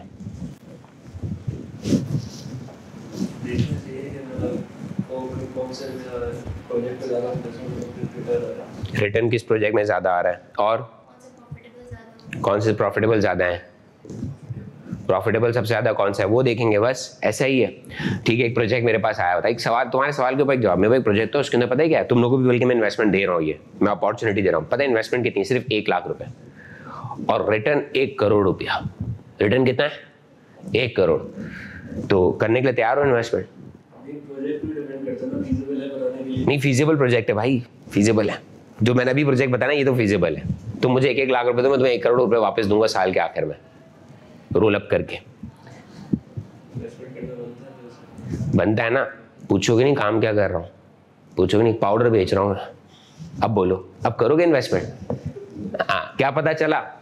सिर्फ़ प्रॉफिटेबिलिटी नहीं देखी जा सकती। There are so many other factor जिसको कंसिडर किया जाएगा। अच्छा ठीक है, अब एक बात तो ये होगी ना, आपको तो सबसे पहला काम क्या होना चाहिए था? मतलब हमारी बात किस पे हो रही है? प्रोसेस ऑफ़ कैपिटल इन्वेस्टमेंट तो सबसे पहला काम पता है बल्कि क्या होना चाहिए था? हमें तो ये पता करना चाहिए कि हमारे पास इन्वेस्टमेंट करने के पैसे हैं भी या नहीं। और अगर हैं तो टू वॉट एक्सटेंट कितने हैं? तो सबसे पहला स्टेप यही होता है कि identify identify surplus capital capital से यहाँ पर पूरे पूरे कोर्स में मतलब है पैसा। कैपिटल से यहाँ पे मतलब वो वाला कैपिटल नहीं इक्विटी वाला कैपिटल नहीं है। यहाँ कैपिटल से मुराद यहाँ पे क्या है? पैसा। जब बोला जाए कैपिटल स्ट्रक्चर कि आपकी फाइनेंस का स्ट्रक्चर कि आपने किस तरीके से पैसा अरेंज किया हुआ है। तो मैंने बोला आइडेंटिफाई सरप्लस कैपिटल आप पहले ये तो पता करो कंपनी में पैसा कितना आप पता लगाओ छह छह करोड़ों के प्रोजेक्ट उठा के अप्रेस करो आठ आठ करोड़ के, पता लगा इतने तो पैसे ही नहीं कंपनी के पास। तो बोला, सर, इस स्टेप पे करते क्या प्रैक्टिकल लाइफ में प्रैक्टिकली कंपनीज़ में होता क्या सबसे पहले आप बनाते हो कैश फ्लो फोरकास्ट और कैश फ्लो बजट क्या सर हमारे कोर्स में है? जी, बिल्कुल है। इस चैप्टर के अंदर। वर्किंग कैपिटल मैनेजमेंट के अंदर। जब हम कैश मैनेजमेंट पढ़ेंगे, जब हम क्या पढ़ेंगे? कैश इसी तरह आपने कैश फ्लो बजट और फोरकास्ट एफ़ टू के पेपर में बनाया होगा। किसके पेपर में बनाया होगा? एफ़ टू के पेपर तो उसमें करना क्या होता है कि आप मंथ्स लिखते हो वर्टिकली ईयर्स लिखते हो, या जिस तरह आपको मंथली बनाना है तो आप मंथ्स लिखते हो। क्वार्टर क्वार्टरली बनाना है तो आप क्वार्टरली बनाते हो। आपको ईयरली बनाना है तो आप ईयर्स लिखते हो। और उसमें जितना भी पैसा आपके पास आना होता है, जितना भी पैसा रिसीट्स पहले लिखते हो, उसके बाद पेमेंट्स लिखते हो, दोनों को नेट ऑफ़ करते हो तो आपके पास दो चीज़ आती है। या तो सरप्लस आता है या डेफिसिट आता है। या सरप्लस आता है या डेफिसिट अच्छा अगर सरप्लस बहुत लंबे अरसे के लिए आ रहा है तो फिर आप कहते हो इन्वेस्टेड अच्छा अगर डेफिसिट लंबे अरसे के लिए आ रहा है तो फिर हमें क्या करना होता है? हमें यह ढूंढना होता है कि इस डेफिसिट को ओवरकम करने के लिए हम कौन सी फाइनेंसिंग फैसिलिटी चूज़ करेंगे। तो अगेन आप देखो, हम कहाँ पर आ गए? सोर्सेस ऑफ़ फाइनेंस के अंदर। तो ये दिखने में तो चैप्टर अलग अलग है, लेकिन ये सब्जेक्ट आपस में पूरा क्या हुआ हुआ है? मिला हुआ है। ये एक बच्चे ने बोला, सर, सवाल तो वर्किंग कैपिटल मैनेजमेंट का आया था, और उसमें सवाल है ना सोर्सेज ऑफ़ फाइनेंस का लगा हुआ था। तो मैंने मैंने कब मना किया कि अलग, ये दोनों जुड़कर नहीं आ सकते। या आपने तो ये बात वर्किंग कैपिटल मैनेजमेंट सिखाई थी। तो क्या इस स्किल को हम सोर्सेस ऑफ़ फाइनेंस में लगा सकते हैं? जी, कोई भी स्किल कोई भी आइडिया कोई भी लर्निंग आप किसी भी चैप्टर में सीखो, दूसरे चैप्टर में लगाई जा सकती है। बात समझ में आई मेरी बात? मैं क्या कहना चाह रहा हूँ? दोबारा से आ जाते तो सबसे पहले आइडेंटिफाई सरप्लस कैश कैश कह लो या सरप्लस कैपिटल कह लो। अब अगर हमारे पास पैसा है तो हमें अपना क्या पता चल गया? लिमिट पता चल गई कि हमारे पास पैसा कितना है। मिसाल के तौर पे, अब हमारे पास पैसा है छह करोड़ रुपए। मतलब छह करोड़ से ऊपर के जितने भी प्रोजेक्ट्स हैं, वो सारे इसमें से क्या हो गए? आउट हो गए। तो अब हमें क्या कहते हैं आइडेंटिफाई करने हैं। Identify identify suitable projects identify suitable projects suitable project से मुराद क्या है? सुटेबल अपॉर्चुनिटीज़ या प्रोजेक्ट से मुराद क्या है? कि जो हमारी इन्वेस्टमेंट लिमिट के अंदर आते हो। अच्छा अब जैसे आइडेंटिफाई कर लिए मतलब मिसाल के तौर चार प्रोजेक्ट्स हमारे पास आ गए। कितने प्रोजेक्ट्स आ गए? चार। अब उसके बाद थर्ड स्टेप क्या है? Evaluate options evaluate projects options opportunities जो वर्ड आपको दिल चाहे वो आप लिख लेना। इवेल्युएट ऑप्शंस अपॉर्चुनिटीज़ या प्रोजेक्ट आप इवेल्युएट करो। अगर आपके पास चार ऑप्शन हैं तो उनको इवेल्युएट करो कि वो कैसे प्रोजेक्ट्स हैं। इसमें सबसे अच्छा प्रोजेक्ट कौन सा है? अच्छा ज़रूरी नहीं कि चार प्रोजेक्ट्स हैं तो मैं एक ही प्रोजेक्ट में पैसा लगाऊँ। ज़रूरी नहीं है कि मेरे पास चार प्रोजेक्ट्स हैं तो मैं एक ही, और अगर मेरे पास छह करोड़ रुपए हैं तो मैं सारे छह करोड़ के ही प्रोजेक्ट्स ढूंढूं। ऐसा हो सकता है तीन तीन करोड़ के दो प्रोजेक्ट उठा लूँ। दो करोड़ वाला एक एक करोड़ वाला एक, तीन करोड़ तो मैं एक पोर्टफोलियो भी बना सकता हूँ प्रोजेक्ट्स का। क्या बना सकता हूँ? पोर्टफोलियो अच्छा इवेल्युएट प्रोजेक्ट जैसे आप इवेल्युएट प्रोजेक्ट करोगे तो उसमें आपको आपकी टर्म्स पर, देखो, ज़रूरी नहीं हर किसी को प्रॉफिट ज़्यादा चाहिए। ज़रूरी नहीं है कि हर किसी को क्या चाहिए प्रॉफिट कुछ लोगों के साथ पता है प्रॉब्लम क्या होता है? कुछ लोगों को लिक्विडेबल रहने का शौक है। लिक्विडेबल रहने का मतलब समझ रहा है कि वो चाहते हैं उनकी जेब में उनका पैसा जेब में रहे या जल्दी पैसा आ जाए। वो चाहते हैं कि उनके पास क्या आ जाए? जल्दी पैसा आ जाए। तो अब वो उसमें से अपने ऑब्जेक्टिव अपने पर्पस के मुताबिक क्या करते हैं? बेस्ट प्रोजेक्ट क्या कर लेते हैं? चूज़ कर लेते हैं। Choose the choose the best alternative best alternative और उसको आगे भेज देते हैं फॉर अप्रूवल के लिए। क्योंकि आप लोग तो सब ट्रेजरार थे ना। आप लोग तो फाइनेंशियल मैनेजर्स थे। आप लोग तो सिर्फ़ बता सकते हो कंपनी को या कंपनी के हेड ऑफ़ डायरेक्टर्स को या शेयर होल्डर्स को कि भाई हमें इस प्रोजेक्ट में, इस इन्वेस्टमेंट में पैसा लगाना चाहिए था। एग्री तो अब यहाँ पे क्या होता है? चूज़ द बेस्ट ऑल्टरनेटिव आपने आगे किया, जैसे ही अप्रूव हो गया तो फिर आप क्या कर देते हो उसके अंदर? मेक इन्वेस्टमेंट आपने इन्वेस्टमेंट कर दी। वैसे हर स्टेप पे एक छोटी मोटी एक्टिविटीज़ होती है, मैंने डिटेल में पिछली क्लास में समझाया भी, लेकिन इतने स्टेप्स पता बताऊँ तो भी काम चल जाता है। या फिर ये छह स्टेप्स दोबारा एक दफ़ा और कहीं ना कहीं डिस्कस हो जाएँगे तो डोंट वरी लेकिन बस याद रखना, इस पर मैंने काफ़ी इंफोसिस किया कि जो पहला वाला स्टेप था उसको हम लोग क्या बनाते हैं? कैश फ्लो फोरकास्ट बनाते हैं और बजट बनाते हैं। ठीक है? जो फिर अगर सरप्लस कैश बचता है तो फिर उसके मुताबिक हम क्या ढूंढते हैं? प्रोजेक्ट्स ढूंढते हैं। फिर उन प्रोजेक्ट्स को क्या करते हैं? इवेल्युएट करते हैं चेक करते हैं और उनमें जो भी बेस्ट होता है, उसमें क्या कर देते हैं? इन्वेस्टमेंट कर देते हैं। इन्वेस्टमेंट करने के बाद क्या होता है? बस छोड़ दूँ इन्वेस्टमेंट करने के बाद छोड़ दूँ? नहीं बेटा, उस प्रोजेक्ट के ऊपर क्या रखनी होगी? नज़र। जो आपके पास फिजिबिलिटी रिपोर्ट बन रही है, आपके पास एक वादा हो रहा है कि भाई देखो, ये वादा है मेरा आपके साथ। मेरा आपके साथ क्या है? ये वादा है, ये प्रॉमिस है कि इतने साल हम लोग आपको ये करके देंगे, ये पैसा लगेगा। जैसे मैंने आपसे एक वादा किया ना कि आप मुझे एक लाख रुपए दो, मैं आपको एक साल बाद कितने वापस करूँगा? एक करोड़। तो आप चेक करोगे ना कि यार ये ये प्रॉमिस बेनिफिट मीट भी हो रहा है या नहीं हो रहा? इस पर मॉनिटरिंग एंड कंट्रोल रखोगे नहीं रखोगे? अच्छा दो पॉसिबिलिटीज है। जो मैंने आपको प्लान दिया था, या तो उसमें फेवरेबिलिटी आ रही होगी, या उसमें क्या आ रही होगी? एडवर्स एडवर्स रिज़ल्ट आ रहे होंगे। अच्छा अगर फेवरेबल आ रहा है, छोड़ दूँ। What would you say favourable आ रहा है, छोड़ दूँ। अच्छे रिजल्ट्स आ रहे हैं, छोड़ दूँ। क्या करना चाहिए? चेक करो कि भाई, ये फेवरेबल भी क्यों आ रहा है? कहीं मैनुपुलेशन तो नहीं है। और अच्छा अगर फेवरेबल आ रहा है तो किस फैक्टर की वजह से आ रहा है? उस फैक्टर पर काम किया जाए, ताकि उस फैक्टर को और, भाई, मिसाल किसी पर्टिकुलर मैनेजर की वजह से सेल ज़्यादा हो रही है। तो उस मैनेजर को रिवॉर्ड किया जाए, उसकी स्ट्रैटेजी सीखी जाए, उसकी ट्रेनिंग कराई जाए। भाई, जो तेरी स्ट्रैटेजी है, वो सारे एम्प्लॉयज़ को भी उसकी क्या कराओ? ट्रेनिंग कराओ ताकि वो सारे एम्प्लॉयज़ भी, बाकी सारे सेल्स मैनेजर भी उसी तरीके से काम करें और प्रोजेक्ट की क्या बढ़े प्रॉफिटेबिलिटी बढ़े। बात समझ में आ रही है? तो अगेन छठे स्टेप में हम क्या करते हैं? मॉनिटर मॉनिटरिंग एंड कंट्रोल तो ये हमारे पास सिक्स फॉर्मल स्टेप्स हैं सिक्स फॉर्मल प्रोसीजर हैं, जिसके तहत हम क्या कहते हैं इन्वेस्टमेंट्स करते हैं। नॉर्मली हमारी ज़िंदगी में तो क्या होता है, हमारे पास तो इन्वेस्टमेंट अपॉर्चुनिटी आती है, हम ठग करके लगा देते हैं। कंपनीज़ के ऐसा नहीं होता। कंपनी सबसे पहले बात तो अपने कोई एग्जिस्टिंग काम चल रहा है, उनके पास बहुत सारा पैसा भी है। उनके पास दूसरी चीज़ क्या है, बहुत सारा पैसा भी फिर उनके पास बहुत सारी अपॉर्चुनिटीज़ उनके पास हर रोज कोई ना कोई आइडिया लेकर आ रहा होता है। अब जैसे मिसाल पर मार्क जकरबर्ग है, या आपके पास एलॉन मस्क है, जिनके पास बहुत पैसा है ना तो इनके पास हर रोज कोई ना कोई आइडिया तो वो हर आइडिया में इन्वेस्ट कर देते हैं। नहीं, वो एक तरह से यूँ समझ लो कि ये उनका डिपार्टमेंट वो अकेले बैठ के नहीं करते उनके पास तो आखिरी में मेक इन्वेस्टमेंट के वक्त क्या होंगी?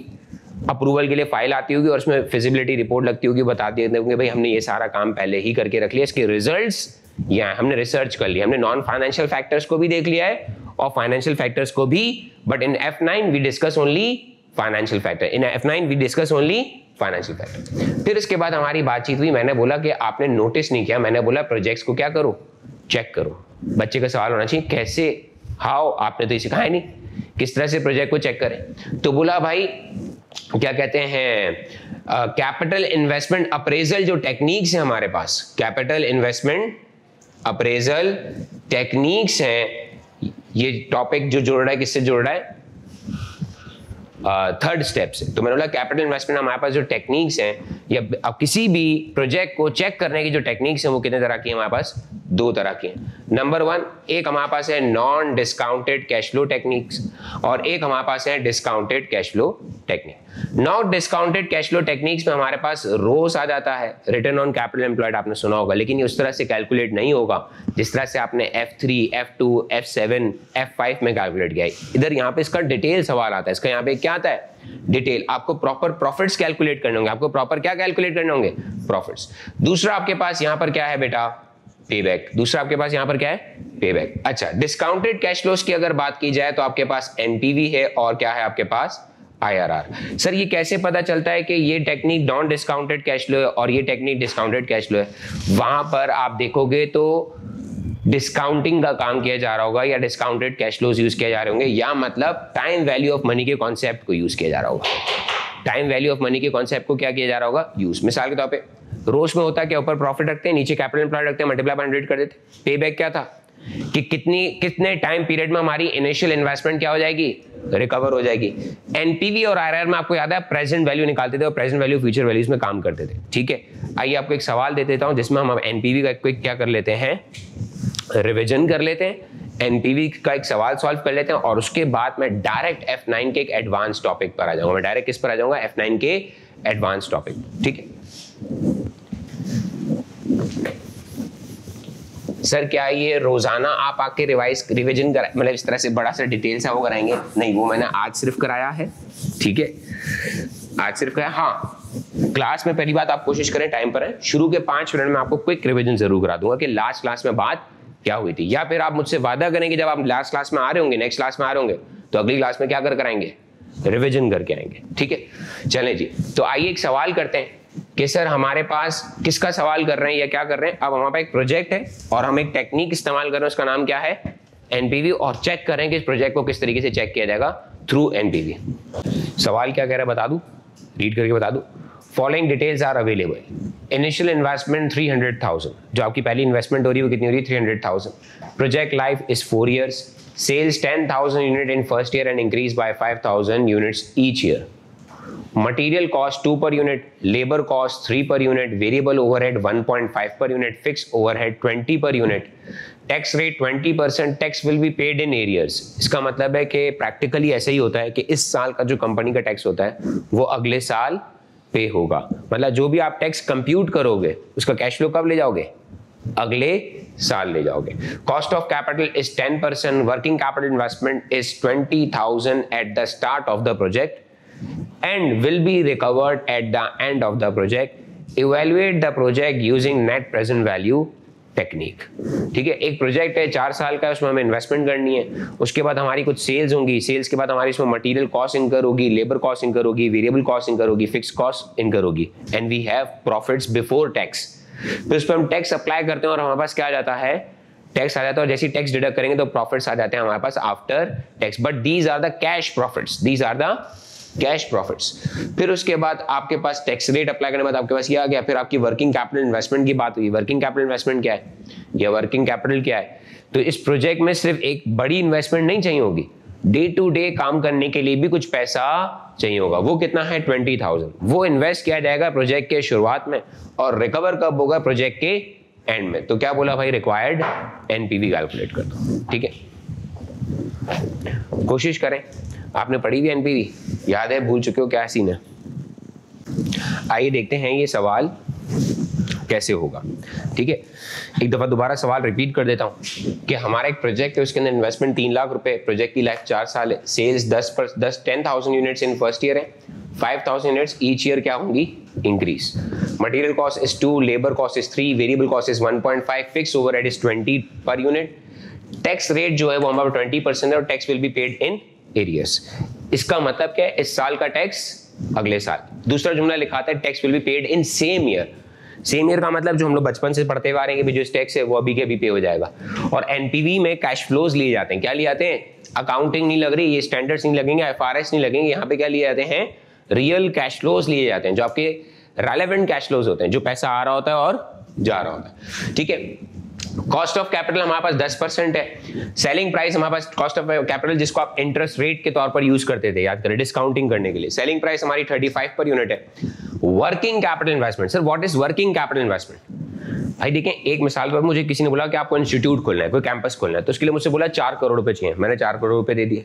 अब मैंने बोला इंस्टीट्यूट शुरू करो, चलाओ। बोला सर चलाने के लिए सैलरीज पे करने के लिए, बिजली का बिल पे करने के लिए ऑफ़िस सप्लाईज के लिए, रो, हर महीने कुछ पैसे चाहिए होंगे। जैसे आपके घर को चलाने के लिए, हर महीने के लिए कुछ। एक तो घर खरीदा। और घर को चलाने के लिए भी कुछ क्या चाहिए होते? रोज़ाना के पैसे चाहिए होते? हैं वो जो डे टू डे एक्टिविटीज़ के लिए पैसे चाहिए होंगे, उसको हम क्या कहेंगे? वर्किंग कैपिटल इन्वेस्टमेंट तो वर्किंग तो इस प्रोजेक्ट को चलाने के लिए, उसकी डे टू डे एक्टिविटीज़ चलाने के लिए working capital investment is required about twenty thousand dollar at the start of the project project के शुरू होने से पहले। एंड विल बी अच्छा वर्किंग कैपिटल का जो पैसा है वापस बाहर आ जाता है। भाई रोज़ाना के काम में इस्तेमाल हो जब रोज़ाना के काम खत्म हो जाएँगे तो पैसा क्या आ जाएगा? बाहर आ जाएगा। तो वो मैं आपको बता भी दूँगा कि उसका मैकेनिज्म समझा दूँगा कि किस तरीके से ये पैसा बाहर आ जाता है। And will be recovered at the end of the project तो बाहर आ जाता है, मैंने कहा ना कि प्रोजेक्ट के एंड पर क्या हो जाएगा? रिकवर हो जाएगा। Required evaluate the project using net present value technique तो बोला, सर F9 में पूरे कोर्स में हम किस फॉर्मेट से एनपीवी कैलकुलेट करेंगे? There are several formats for calculating और कंप्यूटिंग एनपीवी लेकिन मैं एक स्टैंडर्ड फॉर्मेट बना रहा हूँ। ये सदा बाहर फॉर्मेट है जो हर सवाल पे फिट होगा। हर सवाल पर चलेगा तो हम उस फॉर्मेट के तहत क्या कर रहे हैं? काम। सबसे पहले हम क्या लिया करेंगे दोस्त? ईयर्स क्या लिया करेंगे? ईयर्स ईयर ज़ीरो का मतलब है आज का दिन। ईयर ज़ीरो का क्या मतलब है? आज का दिन। Year one year two year three और ईयर फोर और ईयर फाइव। सर, आपने ईयर फाइव क्यों लिखा है? बताता हूँ। जब ईयर फोर में प्रॉफिट होगा, जब ईयर फोर में क्या होगा दोस्तों? प्रॉफिट होगा तो उसका टैक्स कब पे होगा? ईयर फाइव में। अच्छा प्रोजेक्ट की लाइफ कितनी है? सवाल दोबारा से। प्रोजेक्ट की लाइफ कितनी है? Four years. एक बात याद रखना। प्रोजेक्ट की लाइफ फाइव ईयर्स नहीं है। प्रोजेक्ट की लाइफ कितनी है? देखो, ज़रूरी नहीं है कि जितनी प्रोजेक्ट की लाइफ हो, उतने नंबर ऑफ़ ईयर्स जाएँ। मेरा कहने का मकसद ये ज़रूरी नहीं है कि जितनी प्रोजेक्ट की लाइफ हो, उतने नंबर ऑफ़ ईयर्स के आप क्या बनाओ? कॉलम बनाओ। उससे ज़्यादा भी हो सकते हैं, एक ज़्यादा भी हो सकता है। अच्छा भाई, अब सबसे पहला कैश फ्लो जो हमारे पास आएगा, वो क्या आएगा? हम क्या करेंगे? इन्वेस्टमेंट करेंगे। इन्वेस्टमेंट हमारी कितनी होगी? थ्री हंड्रेड थाउज़ेंड डॉलर की थ्री हंड्रेड थाउज़ेंड डॉलर की हो गई। अब उसके बाद क्या होगा? जब इन्वेस्टमेंट कर देंगे। इन्वेस्टमेंट करेंगे तो हमारे पास सेल्स स्टार्ट हो जाएँगे। हमारे पास क्या स्टार्ट हो जाएँगी? सेल्स बेटा, हमारी सेलिंग प्राइस पर यूनिट कितनी है? इस सवाल में मैंने बहुत सारी लर्निंग चीज़ें डाली हैं न्यू क्योंकि कुछ हमारे पास देखो पुराने बच्चे जो तीन चार दफ़ा एनपीवी कैलकुलेट करके बैठे हुए और कुछ नए हैं तो उनको तो प्रॉपर आइडिया हो जाएगा पूरी एनपीवी कैलकुलेट करने का। और जो पुराने बैठे हुए उनके लिए मैंने कुछ न्यू चीज़ें डाली तो तवज्जा से सवाल सुनना। कुछ टर्निंग पॉइंट है। ये छोटी छोटी गलतियाँ ही आपके सवाल को क्या करती हैं?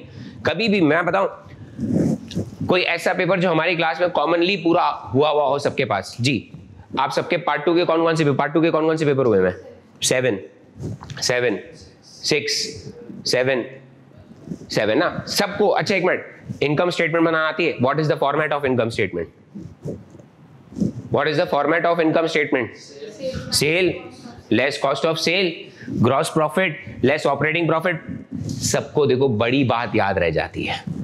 सबको बड़ी बात या जो ओवरऑल कॉन्सेप्ट होता है, वो याद रह जाता है। असल में चीज़ें बच्चा क्या भूल जाता है? आप कभी सवाल करने बैठना, आप कभी भी बड़ा काम, जैसे मिसाल पे मैं आपको बोलूँ ना फॉरवर्ड रेट एग्रीमेंट पढ़ेंगे, इसके चार स्टेप है, कोई बच्चा चार स्टेप नहीं भूलता। कोई बच्चा चार स्टेप मंथ्स की काउंटिंग में गलती कर देता है। कभी डेप्रिसिएशन के सवाल अगर किए हो, सबको डेप्रिसिएशन कैलकुलेट करना आता है, सबको स्क्रैप वैल्यू रिड्यूसिंग बैलेंस का फॉर्मुला याद है। मतलब ऐसा तो होगा नहीं कि फॉर्मूला याद नहीं है। प्रॉब्लम क्या आता है? कि जब ईयर्स या मंथ्स की क्या करनी होती है? किसी ने सिक्स ले लिया तो किसी ने, अरे सर, ये छोटी सी गलती अरे, ये सर, छोटी सी गलती जो है ना यही तो एक एक एक दो दो मार्क्स डिडक्ट करवा रही है। पूरा एमसीक्यू का एमसीक्यू का जवाब क्या करा रही है? गलत करवा रही है क्योंकि एमसीक्यू में तो मार्जिन ऑफ़ वो है नहीं ना कि वर्किंग हो हमारे पास कि भाई आपने वर्किंग तो सही की थी बस एक नंबर ऑफ़ ईयर्स गलत ले लिए थे परसेंटेज गलत ले ली थी। बात समझ में रही है? तो यहाँ पर आ जाते हैं sales 10,000 units in first year selling price हमारे पास कितनी है? 35 35 मल्टीप्लाई बाय 10,000 करोगे तो कितना आ जाएगा? 3 लाख 50,000 अब 15,000 यूनिट्स हो गए। सर कैसे पता चला? Increase by and increase by 5,000 units each year हर साल पाँच पाँच हज़ार से आपके पास क्या बढ़ रहे हैं दोस्त? यूनिट्स बढ़ रहे हैं। तो जी बताइए क्या आंसर आया बेटा? 35 multiply by 15 525,000 35 multiply by 20 sir ये 20 वगैरह क्या तो ये देखिए यूनिट्स लिखवा देता हूँ। पहले हमारे पास 10,000 यूनिट्स थे फिर हमारे पास 15 हो गए फिर हमारे पास 20 हो गए फिर हमारे पास 25 हो गए और फिर हमारे पास नहीं। ईयर 5 तक तो गया भी नहीं। जी तो 35 multiply by 20,000 7 lakh 35 multiply by 25 कितना आ गया? 875 875,000 ठीक है सेल्स के बाद हमारे पास क्या आ जाएगी? मटेरियल कॉस्ट क्या आ जाएगी दोस्तों? मटेरियल कॉस्ट जी भाई मटेरियल कॉस्ट कितनी है? Two dollar per unit two multiply by ten thousand twenty thousand outflow है. नेगेटिव में लिखूँगा. Two multiply by fifteen thousand thirty thousand हो गया आउटफ्लो है. नेगेटिव में लिखूँगा. Two multiply by twenty thousand forty thousand outflow है. नेगेटिव में लिखूँगा. Two multiply by 25 will be 50,000 outflow है. नेगेटिव में लिखूँगा. देन हमारे पास आ जाती है लेबर कॉस्ट लेबर कॉस्ट कितनी बेटा? Three three multiply by ten thousand is thirty thousand three multiply by fifteen thousand is forty five thousand three multiply by twenty thousand is sixty thousand three multiply by twenty five thousand is seventy five thousand का ये outflow हो गया. फिर इसके बाद हमारे पास आ जाती है वेरिएबल कॉस्ट इसके बाद हमारे पास क्या आ जाती है दोस्तों? वेरिएबल कॉस्ट वेरिएबल कॉस्ट हमारे पास है 1.5 1.5 मल्टीप्लाई बाय 10,000 कितना हो गया बेटा? 15,000 1.5 मल्टीप्लाई बाय 15 कितना हो गया? 22,500 1.5 मल्टीप्लाई बाय 20 कितना हो गया बेटा? 30,000 1.5 मल्टीप्लाई बाय 25 कितना हो गया? 37,500 वेरिएबल कॉस्ट के बाद अब आपने मुझे बताना है मुझे तो नहीं आता। अब आपने बताना है मुझे तो मैं तो मैं तो पढ़ाई नहीं है, मेरे को तो आता ही नहीं, आप गलत टीचर से पढ़ लो भाई। Fix cost is twenty thousand per unit जी भाई, यहाँ पर कितना नंबर आना चाहिए? क्या लिखूं? Twenty sorry twenty per unit my mistake twenty per unit तो अब मैं क्या आंसर लिखूं यहाँ पे? क्या करूँ? एक बच्चा कह रहा है, सर, आप लो ट्वेंटी पर यूनिट कितने यूनिट्स यहाँ पर? दस हज़ार। मल्टीप्लाई कर लो, यहाँ पे कितना लिख दो? कितना लिख दो? दो लाख रुपए टू हंड्रेड थाउज़ेंड तवज्जो देना, यही टर्निंग पॉइंट है। फिर एक बच्चा बोलता है, सर, आप क्या करो? ट्वेंटी ट्वेंटी पर यूनिट है। मल्टीप्लाई बाय कितने यूनिट्स हो चुके हैं? फिफ्टीन थाउज़ेंड कितने हो गए यहाँ पर? तीन लाख, ऐसा ही है। फिर आपने मुझसे बोला, सर ट्वेंटी पर यूनिट है मल्टीप्लाई बाय कितने हो गए? ट्वेंटी थाउज़ेंड कितना हो गया? फोर लैख फिर आपने बोला, सर ट्वेंटी पर यूनिट है तो कितने यूनिट्स हमने सेल्ड आउट सोल्ड आउट करें ट्वेंटी फाइव तो सर, यहाँ पर कितना आ गया? पाँच लाख. क्या आपका दिमाग इस बात को एक्सेप्ट कर रहा है? क्योंकि मैं तो आपको जगह दिया वरना मैं आपको सवाल देता तो शायद आप लोग, अगर ये सारे बच्चे पुराने होते, कर लिया तुमने? पुराने बच्चे ने क्या किया है? तुमने भी यही किया है? फिक्स पे आके छोड़ दिया। देखो, मसला पता है नए पुराने का कॉम्बो है, वरना आज मुझे इसे सवाल कराना था। आज मुझे आके सिर्फ़ क्या कराना था ये? सवाल। ये सवाल दो बातें सिखा देता आपको। Number one what is working capital investment treatment इसका क्या ट्रीटमेंट है? नंबर टू यार ये जब फिक्स कॉस्ट पर यूनिट आ जाए तो इसका क्या मतलब है? प्रीवियस लर्निंग से एफ़ टू की लर्निंग से या जो हमारी मैनेजमेंट अकाउंटिंग की, जो भी हमारी लर्निंग है, जो भी हमारी लर्निंग है, उसके अंदर से हमें कौन सी बात को याद रखना था और कौन सी बात को क्या कर जाना चाहिए था? भूल जाना चाहिए था। भूलने की वजह से तो चांस ही नहीं ना। सोचो डॉक्टर एक प्रोफेशनल है, आप उसके पास ऑपरेशन कराने गए। वो ऑपरेशन कर रहा है और उसने आपका सब सीवी दिया और बस हो गया ऑपरेशन आपने डॉक्टर साहब पेन होता है। डॉक्टर साहब ने दोबारा स्कैन वगैरह कराया तो बोला, सर, वो गलती हो गई एक। आपकी रग जोड़ना भूल गया मैं। तो आप क्या करोगे इस डॉक्टर के साथ? तो जो आप उस डॉक्टर के साथ करोगे ना तो याद रखना, अगर प्रोफेशनल कभी कोई चीज़ भूल जाए तो बहुत गुस्सा आता है, बहुत ज़्यादा क्या आता है? गुस्सा आता है। पता लगा लॉयर के साथ आप केस लड़ने गए, आपकी ज़मीन के ज़मीन के कागजात की लड़ाई थी, और एक पॉइंट था, केस हार गए। लॉयर तीन महीने बाद फ़ोन करके बोलता है, यार वो गलती हो गई, मैं एक पॉइंट भूल गया था, वरना हम केस जीत जाते। तो आप लॉयर के साथ क्या करोगे? तो you are auditors in accountants तो भूलने की तो गुंजाइश नहीं है दोस्त। प्रोफेशनल्स को भूलने की गुंजाइश, तभी उनके लिए एक चीज़ होती है C T CPD hours continually professional development hours वो क्यों होते हैं? ताकि आप बार बार रिवाइज करके बार बार रिवाइज करके अपने आप को क्या रखो? अप टू डेट अब यहाँ पे आते हैं। जिस दफ़ा ये ये एक दफ़ा सवाल आया था। जिस दफ़ा ये सवाल आया था, सारे बच्चों ने एग्ज़ाम प्रेशर में कंटिन्यूटी में, हाथ की रवानी में डायरेक्ट क्या कर दिया? फिक्स कॉस्ट पर यूनिट को मल्टीप्लाई कर दिया किससे? यूनिट से मल्टीप्लाई कर दिया। वो एक बात भूल गए। फिक्स कॉस्ट का टॉपिक अगर आपने पढ़ा हुआ और याद हो तो क्या पढ़ाया गया था? कि fix cost never change with the change in level of activity with the change in level of तो बोला, फिर क्या हुआ होगा भाई? आपने देखो ना जैसे जैसे level of activity unit change हो रहे थे तो आपने फिक्स कॉस्ट क्या करते गए? चेंज कर दे गए तो बोला फिर सर, क्या हुआ? भाई, ये जो आपको फिक्स कॉस्ट दी हुई थी, ये पहले से ही डिवाइडेड थी। पहले साल के यूनिट से, पहले से, पहले साल के किससे यूनिट से डिवाइडेड थी? याद करो, आप लोग पढ़ते थे। बजटेड फिक्स कॉस्ट ये बजटेड ही ना? क्या ये सब हो चुका है बजट है?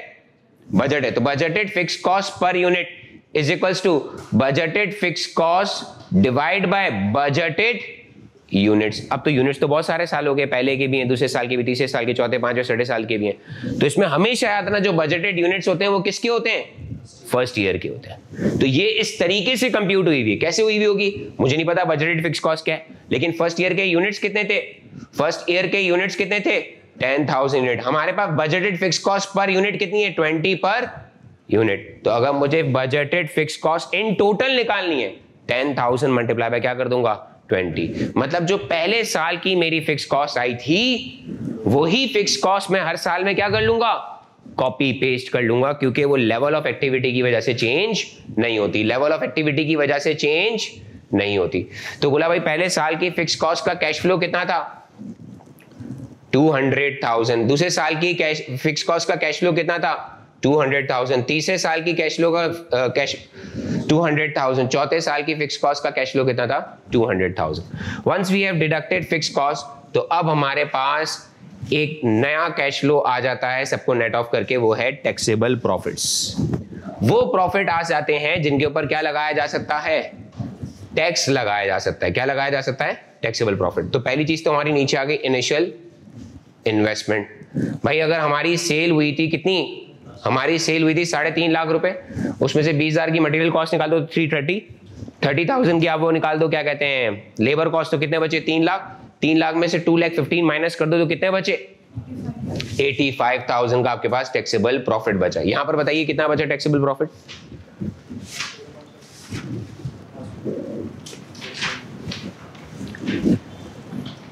इनकी होगी अटेंडेंस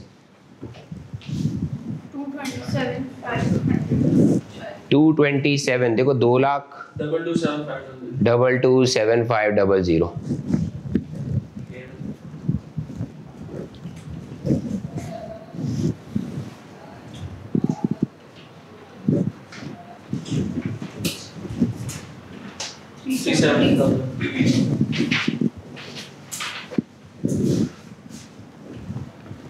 एक बात बता दूँ क्लास में आज अगर सवाल नहीं हो रहा ना पेपर में भी नहीं होगा। अगर आज सवाल नहीं हो रहा तो पेपर में भी नहीं होगा। पेपर में भी इंतज़ार करोगे, कहीं से आवाज़ आ जाए, कोई हेल्प कर दे हमारी, ऐसी आदत लगी रहेगी। जी, कितना आया? Five one two five double zero taxable profits आ गए। इस पर आपने क्या लगा दिया भाई? टैक्स लगा दिया एट ट्वेंटी परसेंट बेटा, ध्यान रखना, जो पुराने बच्चे, उनको तो आदत लग गई है थर्टी परसेंट लेने की। उनको आदत लग गई है किसकी? इतने सवाल, तीन, चार सवाल कर चुके हैं, तीन नहीं, दो तीन ही किए ज़्यादा तो नहीं किए। तो थर्टी परसेंट लेने की उनकी क्या हो गई आदत? ज़रूर देख लेना, लाजमी देख लेना कि सवाल में टैक्स रेट क्या है। एफ़ नाइन में मेजोरिटी टाइम्स थर्टी परसेंट ही होता है। लेकिन हर दफ़ा सवाल का रेट ज़रूर चेक कर लेना। बेटा, जरा ट्वेंटी परसेंट टैक्स बताओ, कितना आया एटी फाइव का? पहले साल तो कोई टैक्स पे नहीं होगा। ईयर ज़ीरो कितना आया? सेवनटीन थाउज़ेंड सर, आपने ईयर टू में क्यों लिखा? तो वजह दीजिएगा दोबारा, जिन्होंने नहीं देखा हुआ ये सवाल नहीं किया हुआ। सर आपने ईयर टू में क्यों लिखा? यहाँ लिखा हुआ क्या था? Tax will be paid in arrears मतलब पहले साल का टैक्स कब होगा? अगले साल जाके पे होगा। इस साल का टैक्स अगले साल जाके। बहुत सिंपल समझा देता हूँ। भाई, जो हम लोग कमाते हैं मिसाल के तौर पर पाकिस्तानी लॉ के मुताबिक बताऊँ, जुलाई टू जून में जो भी हम कमाते हैं, वो कमाया जुलाई टू जून में होता है, लेकिन उसका टैक्स कब पे करते हैं? जुलाई के बाद। या उसका रिटर्न कब फ़ाइल करते हैं? जुलाई के बाद। सितंबर में अभी recently thirty first September last due date गई थी। क्या गई थी? थर्टी फ़र्स्ट दिसंबर लास्ट ड्यू डेट गई थी। जी भाई बताइए जरा two two seven five double zero का twenty percent forty five five hundred thirty seven thousand three lakh seventy thousand का seventy four thousand one zero two five hundred सिर्फ़ अटेंडेंस लगा दो, अगर आपको पुरानी लगी हुई ना तो सिर्फ़ अटेंडेंस लगा दो। क्या चीज़ है ये? तो जल्दी जल्दी भर के दे दो जल्दी जल्दी भर के दे दो। आप लोग के हो गए? दोनों के हो गए? सबके हो गए? आप लोग को अगर एडमिशन फॉर्म मिला तो जल्दी से भर के दे दो बस। फिर इसके बाद सर मुझे टेक्निकल पॉइंट समझाना, मैं चाहता हूँ आप सबकी तवज्जो। तो जब आपको पता है कि मुझे 12 बजे पहुँचना है तो आपने क्या करना है? रात को 10 बजे सो जाना है। अगर आप रात को 10 बजे सो के 10 बजे भी उठोगी तो 12 घंटे की नींद पूरी हो जाएगी। कितने घंटे की नींद पूरी हो जाएगी? 12 घंटे की। अभी भी दो घंटे हैं। दो घंटे में आराम से बंदा शावर ले लेता है, नाश्ता कर लेता है, तैयार हो जाता है कपड़े वपड़े पहन के क्लास में आता है। तो अब रूटीन बना लो। रूटीन क्या है आपका? कि आपने रात को दस बजे सोना है, दस बजे उठना है, दस से बारह आप अपना तैयार व्यार होकर आ जाओ। बारह से तीन आपने मेरी क्लास ली। तीन से छः आपकी किसकी हो रही है? टैक्सेशन की क्लास। छः से आठ आपने रेस्ट कर लिया, ठीक है? आठ से दस आपने पढ़ लिया और दस बजे सो जाओ। This is the time table लो, बना दिया टाइम टेबल सही और जिस दिन छुट्टी है, उस दिन आपका ये चंक बच गया। कुछ नहीं करना है, जो क्लासेस में पढ़ा है, उसको सब रिवाइज करो। बैठ के पढ़ो। अब अगर जल्दी पढ़ लिया तो ठीक है, छुट्टी। नहीं पढ़ा तो पढ़ती रहो पढ़ती रहो पढ़ती रहो। लो, हो गया। सही है? थोड़ा सीरियस हो जाओ, क्योंकि अब बताऊँ, मार्च, आज क्या तारीख हो गई है?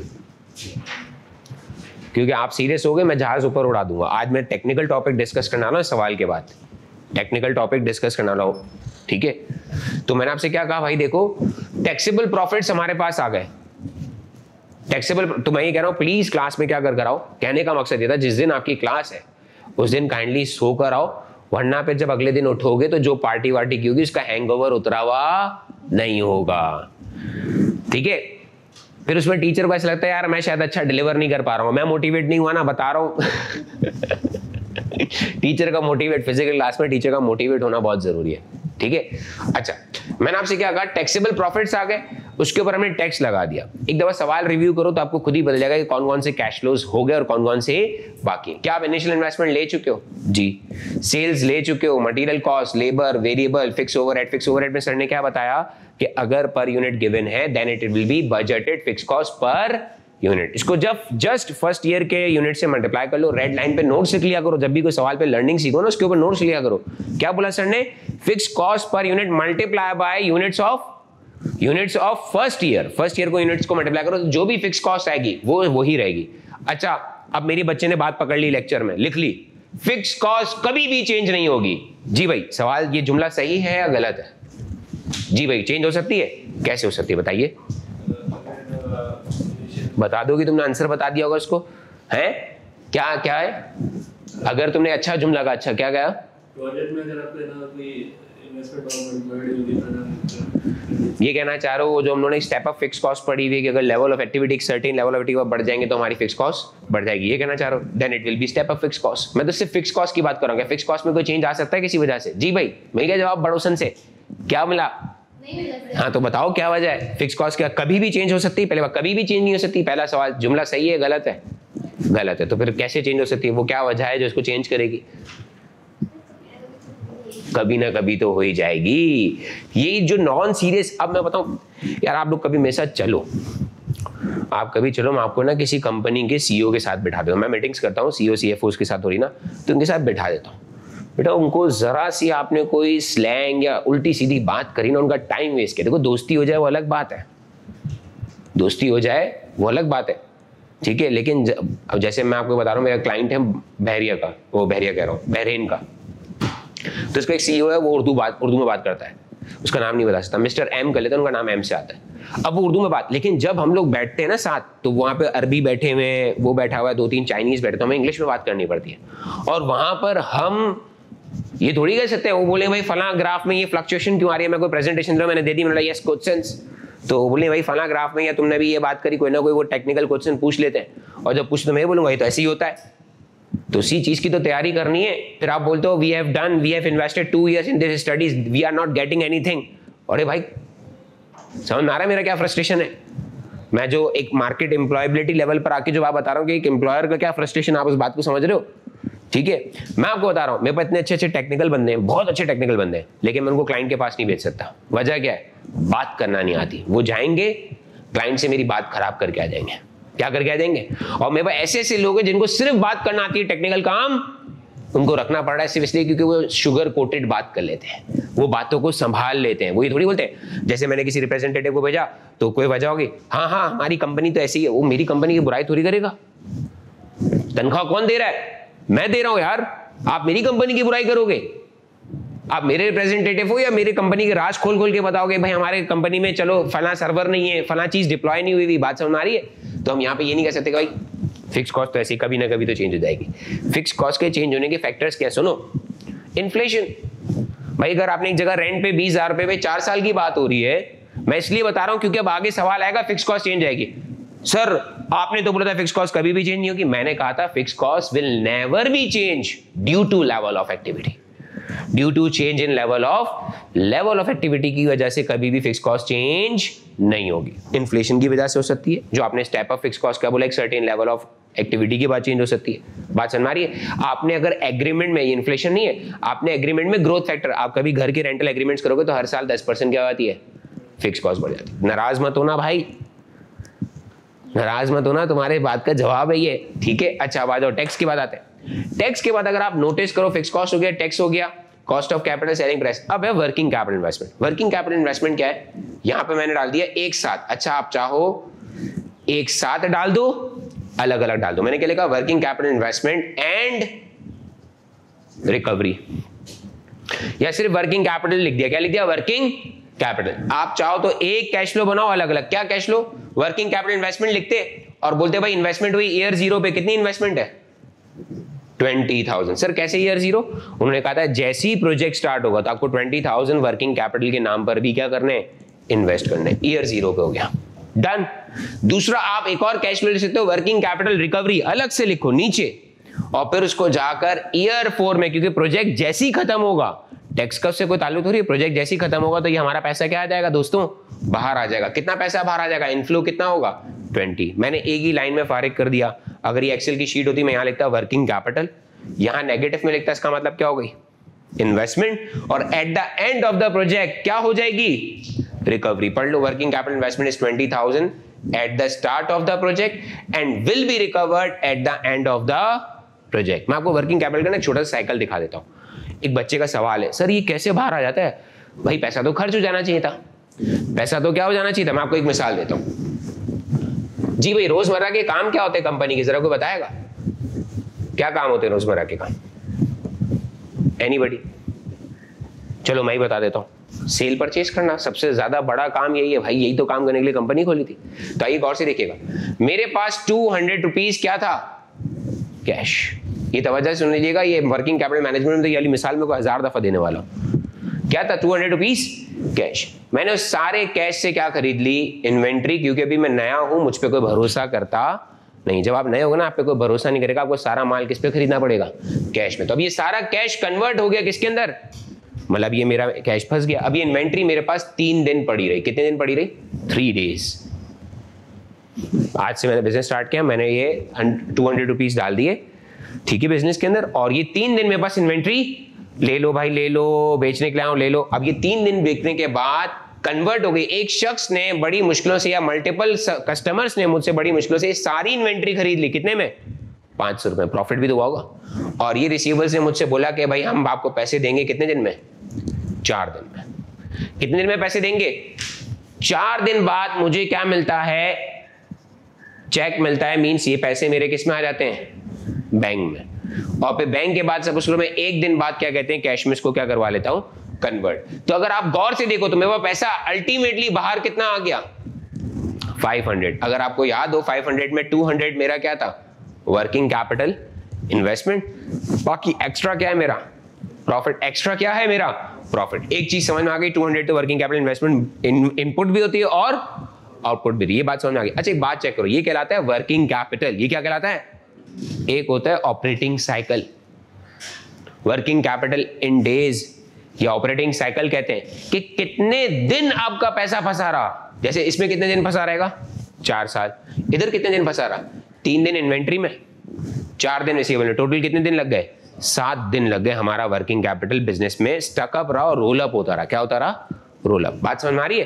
तो यहाँ पर आपके पास वर्किंग कैपिटल थोड़ा बहुत मैंने वर्किंग कैपिटल मैनेजमेंट की, हर चैप्टर की देखो, थोड़ी बहुत बातें किसी ना किसी चैप्टर में रिलेट ज़रूर करेंगी। तो मैंने वर्किंग कैपिटल भी इंट्रोड्यूस करा दिया क्या होता है? It's funds for day to day activities what are the day to day activities sales purchase salaries daily routine expenses these are called working capital activities बात आ रही है? ठीक है? तो ये आपके पास वर्किंग कैपिटल फंड हो गया, ये आपके पास क्या हो गया? ऑपरेटिंग साइकिल जो इस पूरी कहानी में कितना था दोस्तों? सेवन डेज़ था। क्या था? सेवन डेज़ तो आपने इन्वेस्टमेंट करी रिकवरी करी। अब आपको बस क्या करना है? एक बच्चे का सवाल। बहुत सारे सवाल आते हैं, वो सारे सवाल बता देता हूँ, आप लोग की क्लास से नहीं आ रहे। बच्चा बोलता है, सर वर्किंग कैपिटल इन्वेस्टमेंट हमने शुरू में क्यों नहीं ले ली? आखिर में क्यों ली? बेटा, अगर शुरू में ले लेता तो वो इस कैश फ्लो में ऐड हुआ हुआ आ जाता। और इस कैश फ्लो पे हम क्या लगाते हैं? टैक्स वर्किंग इन्वेस्टमेंट्स पे टैक्स नहीं लगता बेटा। इनकम्स पे टैक्स लगता है। इन्वेस्टमेंट्स पे टैक्स नहीं लगता। किस पे लगता है? इनकम्स पे। मेरी बात क्लियर हो गई वाली बात? तो इसलिए जो भी नॉन टैक्सेबल आइटम्स होंगे, जो भी क्या होंगे? नॉन टैक्सेबल आइटम्स होंगे, उनको हम टैक्स के बाद लिया करेंगे। उनको हम कब लिया करेंगे? बाद टैक्स के बाद लिया करेंगे। तो अब हमारे पास क्या आ गए भाई? नेट कैश फ्लोज आ गए। क्या आ गए? नेट कैश फ्लोज जी भाई, ये कितनी होगी हमारी ईयर ईयर ज़ीरो पर हमारी टोटल इनिशियल इन्वेस्टमेंट कितनी होगी? Three lakh twenty twenty thousand eighty five thousand का हमारा net cash flow of year one हो गया। ये कितना आ रहा है दोस्तों? Two one zero five double zero two one zero जी। ट्वेंटी ऐड करना माइनस मत कर देना। ट्वेंटी ऐड करना। दोस्त, नाम क्या है? उमर तुम्हारा नाम है सागर. सागर नाम था. याद आ गया. देखा? सागर वॉज़ माई क्या कहते हैं एफ़ आई ए स्टूडेंट ऐसा ही है. सही कह रहा हूँ, गलत कह रहा हूँ? जी. Four fifty eight five hundred one zero two five double zero in negative अब आपके पास क्या आ जाएगा भैया? डिस्काउंट फैक्टर्स डिस्काउंट फैक्टर्स किस पर लिखने हैं? टेन परसेंट पे. इसका एक टेबल होता है. ईयर ज़ीरो का डिस्काउंट फैक्टर वन होता है. चाहे कहीं लिखा हो, ना लिखा हो, लेकिन आपके बाप बताना चाहिए ईयर ज़ीरो का डिस्काउंट फैक्टर क्या होता है? वन लॉजिकली पूछोगे तो बता भी दूँगा। बाकी काम ये करो कि आप सबके पास एफ़ की किट बुक कुछ पढ़ी हुई है? कोई भी चीज़ पढ़ी हुई है? एक मुझे बस याद दिला देना मैं आप लोगों को क्या कहते हैं? सॉफ्ट कॉपी ऑफ़ बुक और soft copy of kit send कर दूँगा मोबाइल में तो आप नेक्स्ट क्लास में आप लोग मोबाइल में क्या करके रखोगे इसको? डाउनलोड करके रखोगे।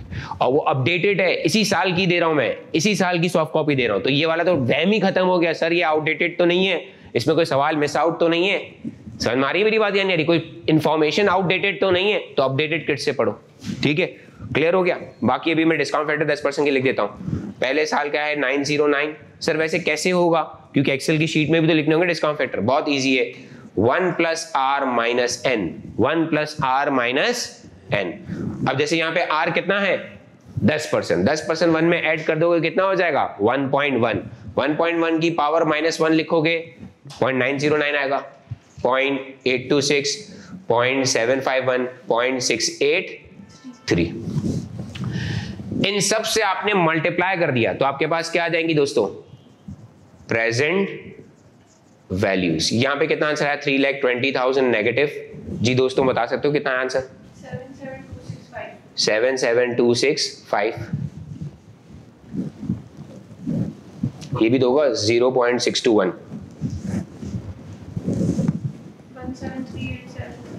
One seven three eight. Seven three.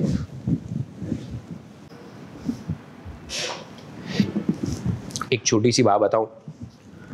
भाई मेरा ई मैंने दो साल में फ़र्स्ट अटैम्प में क्लियर कर लिया था।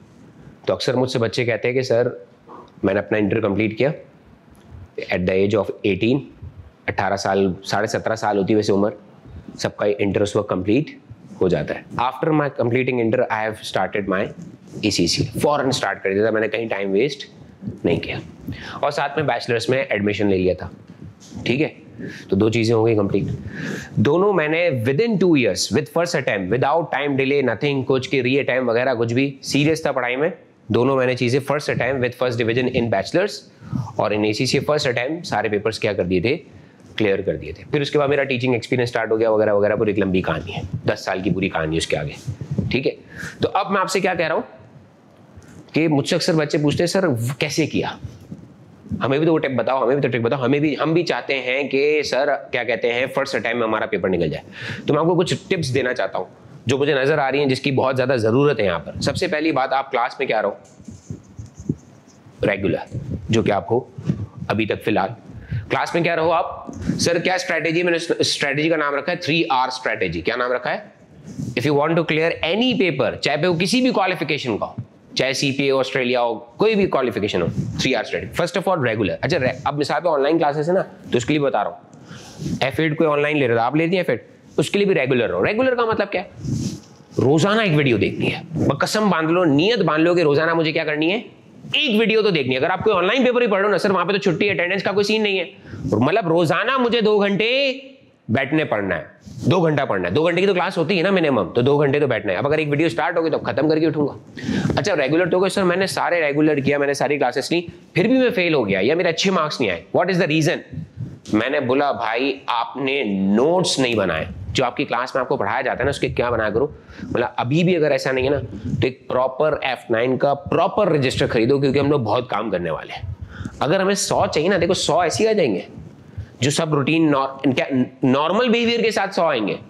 मतलब बिहेवियर चेंज करना पड़ेगा एग्रेसिव बिहेवियर रखना पड़ेगा। क्या रखना पड़ेगा? एग्रेसिव तो बोला प्रॉपर रजिस्टर मेंटेन करो नोट्स बनाओ। जो आपने पढ़ा, उसको लिखो। क्योंकि एक बात सोचो ना, अगर आपने डेढ़ सौ घंटा वन फिफ्टी आवर्स इन्वेस्ट होंगे टोटल मैं आपको बता दे रहा हूँ, आपकी क्लास में पूरा कोर्स खत्म कराने में वन फिफ्टी आवर्स अब इन्वेस्ट होंगे। आप कैलकुलेशन कर लेना कि कितने घंटे सर ने आपको दिए। एक सौ, वैसे नॉर्मली कोर्स एटी आवर्स का होना चाहिए। कितने आवर्स का होना चाहिए? 150 आवर्स का मतलब आपके ऊपर क्या किया गया है? एक्स्ट्रा एफर्ट किया गया डिटेल में चीज़ें और डिस्कस की गई हैं। तो 150 फिफ्टी आवर्स आपके पास इन्वेस्ट मैं आपसे बोलूँ, भाई बताओ, फला दिन में हमने क्या डिस्कस किया था? क्या सीखा था? याद ही नहीं है। क्यों? क्या नहीं हमारे पास? नोट्स नहीं है। इसी तरह जब आप ऑनलाइन पढ़ते हो, आपने हंड्रेड वीडियोस देख ली। अब आपसे पूछो, बताओ इलेवेंथ वीडियो में क्या था? याद ही नहीं है। लेकिन अगर रजिस्टर होगा तो हमें दोबारा से हंड्रेड वीडियोस में टाइम इन्वेस्ट नहीं करना पड़ेगा। बहुत गौर से सुनना। तो रजिस्टर प्रॉपर मेंटेन करो नोट्स बनाओ। जो बच्चे नए उनको मैं सख्ती से कह रहा हूँ। तीसरी बात सर रजिस्टर भी बना लिया। रेगुलर भी हो गए। स्टिल अब we have achieve the good marks in ACCA या फ़र्स्ट टाइम नहीं निकला। मैंने बोला, बेटा, रोज़ाना बस पता है क्या करो? क्लास में जल्दी आ जाओ। जैसे हम लोग, मैं तो यही करता था। मैं तो क्लास में जल्दी आ चुका होता था, क्योंकि हमारे पास तो बच्चों की फौज हुआ करती थी 200 200 300 300 बच्चे हुआ करते थे। तो आगे की सीट की लड़ाइयाँ होती थी भाई। लड़कों में एक दूसरे को कुर्सियाँ मारते थे हम लोग।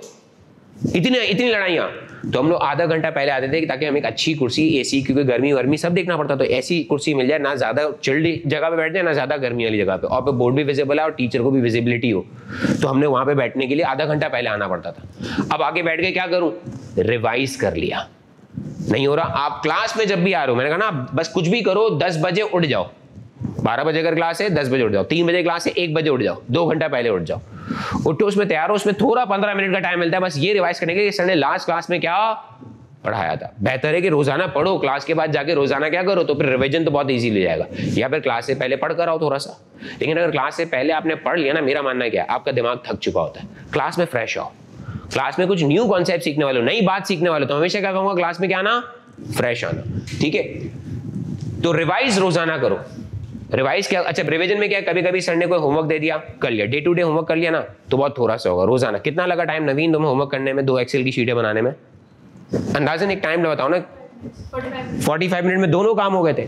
पिछली क्लास में 45 मिनट्स का होमवर्क दिया था। पिछली क्लास में हमने किसका होमवर्क दिया था? This three R strategy follow कर लो। अगर फॉलो 100 परसेंट फॉलो करने के बावजूद भी पेपर फेल हो गया ना, मैं फ़ीस भर दूँ, बदल दूँ भर दूँगा और मेरा नाम बदल देना। हर वीडियो या हर कमेंट में जाके मेरा नाम रख देना, छोटा चेतन। क्या रख देना? छोटा चेतन छोटा चेतन। अगर ये थ्री आर स्ट्रेटेजी फॉलो करने के बाद भी अगर आपका पेपर क्या हो गया? फेल हो गया या मार्क्स कम आ गए।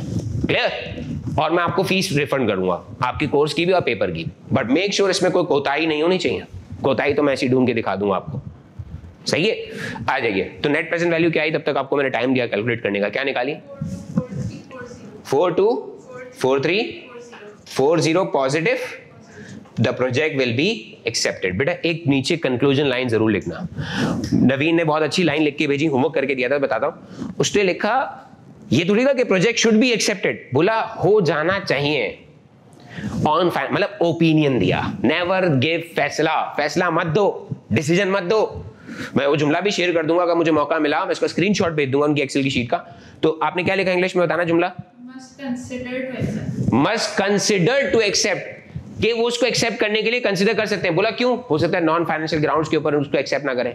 Due to span of project वो एक्सेप्ट ना करें। वो चाह रहे थे कि प्रोजेक्ट ऐसा हो सिर्फ़ तीन साल का हो। चार साल का था इसलिए एक्सेप्ट नहीं करा।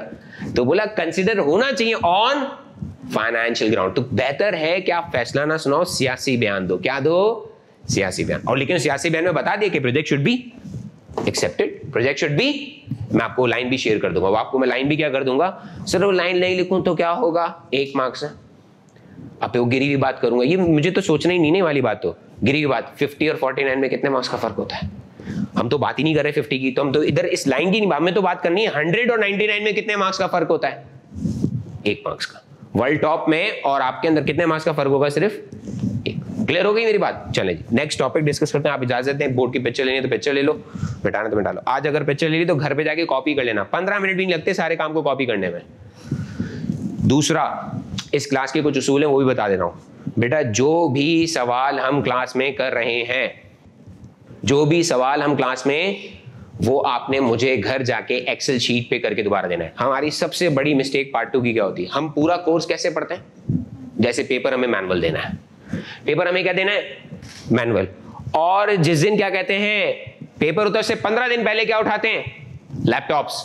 उस दिन बटन नहीं दबरास परेशानी एंजाइटी नहीं बेटा, हमें फ्रॉम डे फ़र्स्ट मतलब सोचो ना, मैंने तुम्हें जंग में भेजा, दोस्त। और जंग में भेजने वाला हूँ, तीन साल बाद, दो साल बाद। मैं तुम्हें पूरी जो जंग की ट्रेनिंग करा रहा हूँ ए के फोर्टी सेवन पे करा रहा हूँ। At the day of war मैं तुम्हें एम टेन अमेरिकन राइफल दूँगा अमेरिकन है। बहुत अच्छी ब्लैक कलर की, अच्छी लगेगी जब तुम उठाओगे तो सुपर कूल भी लगोगे। मतलब सामने वाले सोल्जर्स पे तहश भी आएगा इस राइफल को देखने के बाद। तो बोला, सर, मैंने मैंने अपना एम सेट किया, मेरी वेट जो उसकी एडजस्टमेंट है, वो सब कुछ है शोल्डर एडजस्टमेंट है, वो किसके हिसाब से मेरी? एट द आप आखिरी दिन मुझे आगे एम टेन दे रहे हो। एम टेन भी राइफल का नाम है ए के फोर्टी सेवन भी किसका नाम है? राइफल का नाम है। मेरी बात सुन मारी? तो भाई जिस चीज़ से जंग लड़नी है, उसकी प्रैक्टिस हमें वेरी फ़र्स्ट डे रखनी है। तो आपने अब जैसे जो बच्चे आज बैठे जैसे सागर, आप बैठे हो।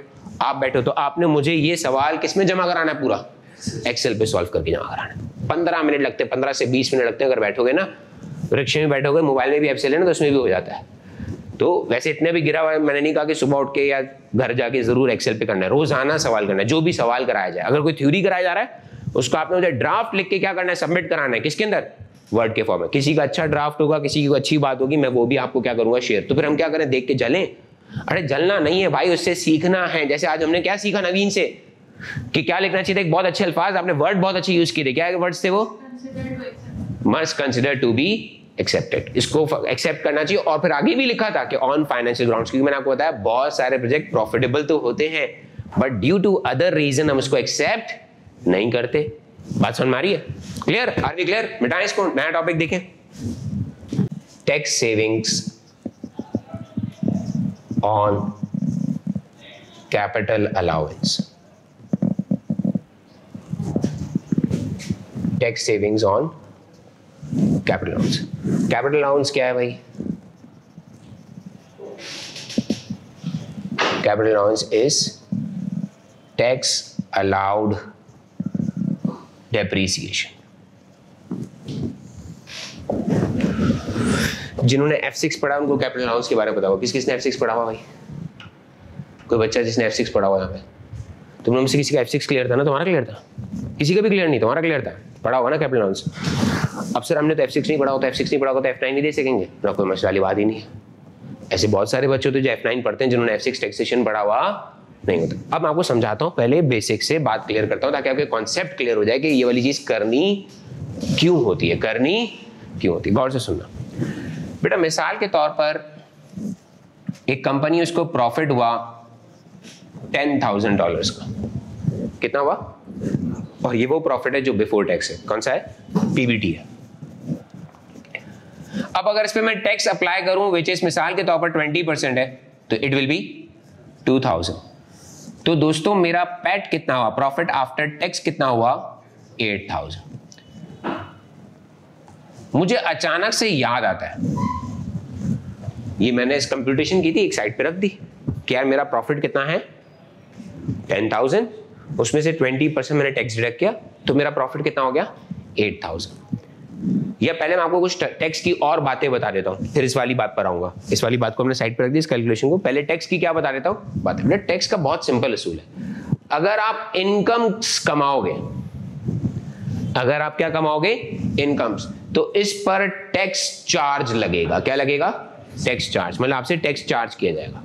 इस पर क्या लगेगा? टैक्स चार्ज लेकिन जब आप एक्सपेंसेस या लॉसेस करोगे मतलब आप खुद सोचो ना, जो लॉस बचता है वो नेट एक्सपेंस ही तो होता है। जो लॉस बचता है वो क्या होता है? नेट एक्सपेंस दिखाता हूँ। बेटा, आपके रेवेन्यू थे पाँच हज़ार, आपके एक्सपेंस थे टू थाउज़ेंड तो आपके पास क्या बचा? नेट प्रॉफिट कितने का?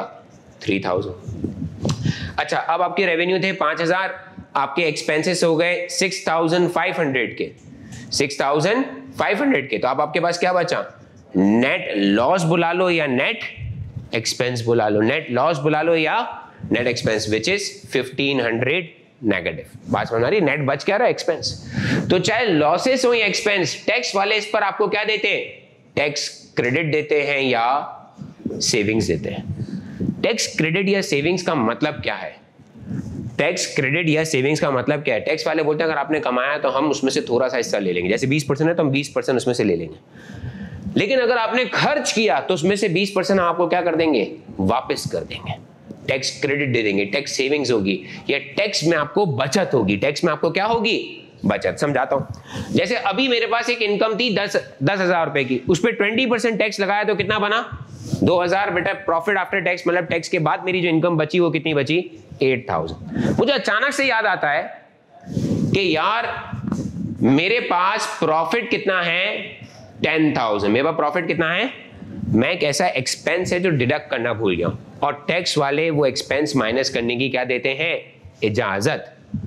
टैक्स वाले मुझे वो एक्सपेंस क्या करने की देते हैं? इजाज़त। फॉर एग्ज़ाम्पल के एक डेप्रीसिएशन था। डेप्रीसिएशन था, वो मैंने डिडक्ट करना क्या हो गया मैं? भूल गया। और वो डेप्रीसिएशन अराउंड क्या कहते हैं? टू थाउज़ेंड रुपीज़ का था टू थाउज़ेंड डॉलर का था। तो अब मेरा पीबीटी कितना हो गया? प्रॉफिट बिफोर टैक्स कितना हो गया? एट थाउज़ेंड मेरा प्रॉफिट बिफोर टैक्स कितना हो गया? बेटा, जैसे ही मैंने उस पर टैक्स रेट लगाया विच इज़ ट्वेंटी परसेंट जैसे ही मैंने उस पर टैक्स रेट लगाया which is twenty percent twenty percent of eight thousand is sixteen hundred बेटा सिक्सटीन हंड्रेड के बाद मेरे पास पैट कितना बचा? सिक्सटी फोर हंड्रेड बचा। अब गौर से तवज्जो दीजिएगा। बेटा, जब तक मैंने एक्सपेंस लेस नहीं किया था तो मेरा टैक्स कितना था? टू थाउज़ेंड जब तक मैंने टैक्स एक्सपेंस लेस नहीं किया था डेप्रिसिएशन एक्सपेंस लेस नहीं किया था, तब मेरा टैक्स कितना था? 2000 लेकिन जैसे ही मैंने डेप्रिसिएशन लेस किया तो मेरा टैक्स कितना हो गया? 1600 क्या मुझे टैक्स पर बचत हुई है? क्या मुझे टैक्स पर बचत हुई है? पता है कितने की हुई है? फोर हंड्रेड रुपीज़ की। कितने की हुई है? दोबारा समझा देता हूँ। अभी मैंने एक जुमला कहा था, अगर इस जुमले को बहुत गौर से सुनो। अगर आप कमाओगे तो टैक्स वालों को थोड़ा सा शेयर दोगे। और अगर आप खर्च करोगे तो टैक्स वाले आप ही के शेयर में से कुछ पैसे आपको क्या कर देंगे? वापस कर देंगे। दिखाओ। बेटा, जब आपने दस हज़ार रुपए कमाए ना तो इस पर ट्वेंटी परसेंट टैक्स बनता है दो हज़ार रुपए। आपने दो हज़ार रुपए टैक्स वालों को दे दिए। टैक्स वाला बोला इधर आओ। ना जी। ना तुमने डेप्रेशन चार्ज किया था? बेटा भूल गया। ओ क्या कर गया? डेप्रेशन डेप्रेशन कंप्यूट हुआ डेप्रेशन कंप्यूट हुआ कितना आया? टू थाउज़ेंड तो उन्होंने बोला, ये लो भाई ट्वेंटी परसेंट चूँकि तुम्हारा खर्चा हुआ था ना, इसका ट्वेंटी परसेंट ले लो, कितना हो गया? 400 तुम वापस ले लो। तो अल्टीमेटली मैंने टैक्स वालों को कितने दिए? 1600 दिए। कितने दिए? 1600 मेरी बात समझ में आई? मैं क्या समझाना चाह रहा हूँ? इससे ये बात क्लियर हो गई कि जितनी दफ़ा मेरा एक्सपेंस डिडक्ट होता जाता है तो मेरा टैक्स कम होता जाता है। मेरा क्या कम होता जाता है? टैक्स अगर मैं एक रिलेशनशिप बनाऊँ एक्सपेंसेस क्या करते हैं? एक्सपेंसेस क्या करते हैं? प्रॉफिट रिड्यूस करते हैं। प्रॉफिट क्या करते हैं? रिड्यूस करते हैं। और रिड्यूस प्रॉफिट पर क्या लगता है? रिड्यूस टैक्स या दूसरे अल्फाज में कहूँ तो सेविंग्स हो जाती हैं। क्या हो जाती हैं? सेविंग्स जो मेरा टैक्स का खर्चा दो हज़ार रुपए था अच्छा देखो खर्चा तो हो चुका है ना। बस मेरे लिए तो ये बहुत अच्छी बात है टैक्स वाले अगर उस खर्चे को डिडक्ट करने की क्या दे दे? इजाज़त। टैक्स वालों ने बोला, भाई, आप दो हज़ार रुपए डिडक्ट कर लो। दो हज़ार रुपए क्या कर लो? डिडक्ट जैसे डिडक्ट करे तो अब मेरा टैक्स कितना बना? 1600 तो अल्टीमेटली मुझे टैक्स में कितने की बचत हुई? चार सौ रुपए की। नहीं समझ में आया? अगर अभी भी मेरी बात क्लियर नहीं हुई, आओ एक केस टू से समझाता हूँ। ये केस वन था ना? केस टू देखो, एक है अकाउंटिंग की दुनिया, एक है टैक्सेशन की दुनिया, और एक है फाइनेंशियल मैनेजमेंट की दुनिया। ये तीनों दुनिया अलग है। तीनों दुनिया के तरीके को सोचना और इनके रूल्स को समझने की या फ़र्क करने की क्या करो अपने अंदर स्किल डालो कि किधर क्या बात हो रही है। आओ पहले बात करते हैं कि एक चीज़ हो चुकी। भाई, हमारे पास एक इनकम आ चुकी थी। लाइक मिसाल के तौर पर टेन थाउज़ेंड डॉलर की। ठीक है, एक हमारे पास एक्सपेंस वन था। एक हमारे पास एक्सपेंस वन था वन एक्सपेंस वन कोई भी नाम रख लो rent expense marketing expense advertisement expense जो तुम्हें नाम रखना है एक्सपेंस वन था, मिसाल के तौर पे टू हंड्रेड डॉलर एक हमारे पास एक्सपेंस टू था। एक हमारे पास एक्सपेंस टू था। मिसाल के तौर पर आपके पास कितने का? थ्री हंड्रेड डॉलर का। डन और आपका जो टैक्स रेट चल रहा है, आपका टैक्स रेट चल रहा है, वो कितना चल रहा है? ट्वेंटी परसेंट कितना चल रहा है? Twenty percent. सबसे पहले मैंने आपसे बोला, सर, आपने मुझसे बोला, सर, मुझे financial reporting F R F seven F three F A two या इनकम स्टेटमेंट वाला काम सिखा दो। क्या सिखा दो? मैं बोला, अभी सिखा देता हूँ फाइनेंशियल रिपोर्टिंग सर भाई मुझे दूसरा तरीका बताएँ कि टैक्स टैक्सेशन में क्या होगा? टैक्सेशन इम्प्लीकेशन बता दें। टैक्स वाले कैसे सोचते हैं? तीसरा, मुझे ये सिखाएँ कि एक फाइनेंशियल मैनेजर कैसे सोचता है? Financial manager tax expense one का नाम रख लेते हैं रेंट कैश रेंट गया tax expense sorry expense two का नाम रख लेते हैं क्या? डेप्रीसिएशन एक्सपेंस टू का नाम रख लेते हैं डेप्रीसिएशन आइए फाइनेंशियल रिपोर्टिंग की बात करते हैं. फाइनेंशियल रिपोर्टिंग वाले तो बोलते हैं, भाई एफ़ का एप्लीकेशन समझा रहा हूँ. किसका एप्लीकेशन समझा रहा हूँ? बहुत सिंपल बोलते हैं। बोला, भाई इनकम आपके पास कितनी आई? टेन थाउज़ेंड कोई भी खर्चे हो एक्सपेंसेस हो, वो सारे आप क्या कर दीजिएगा? Less number one rent number two is depreciation rent कितना था? 200 डॉलर्स डेप्रिसिएशन कितना था? 300 डॉलर्स पीबीटी कितना बचा?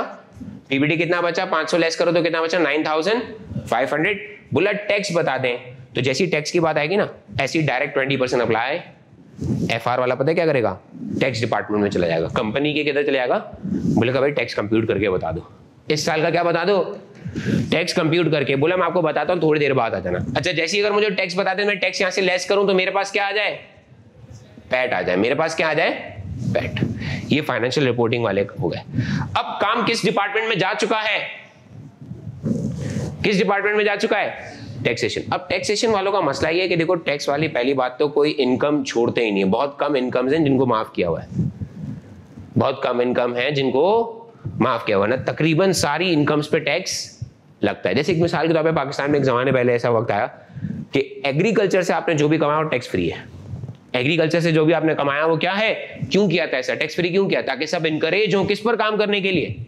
एग्रीकल्चर सेक्टर में। तो जिस सेक्टर को उनको इनकरेज करना होता है, उस पर वो टैक्स कम कर देते हैं टैक्स बेनिफिट दे देते हैं टैक्स क्रेडिट दे देते हैं, ठीक है? टैक्स सेविंग प्लान दे देते हैं। लेकिन जहाँ उन, जिस चीज़ की डिमांड को कम करना होता है, यहाँ पे लोगों का इंटरेस्ट कम करना होता है, वहाँ पे क्या बढ़ा देते हैं? टैक्स बढ़ा देते हैं। बात समझ आ रही है? तो इनकम तो चुपचाप उन्होंने बोला, भाई, दस हज़ार रुपए। अब सपोज़ करो यहाँ पर सिनेरियो नंबर वन और ये सिनेरियो नंबर टू है।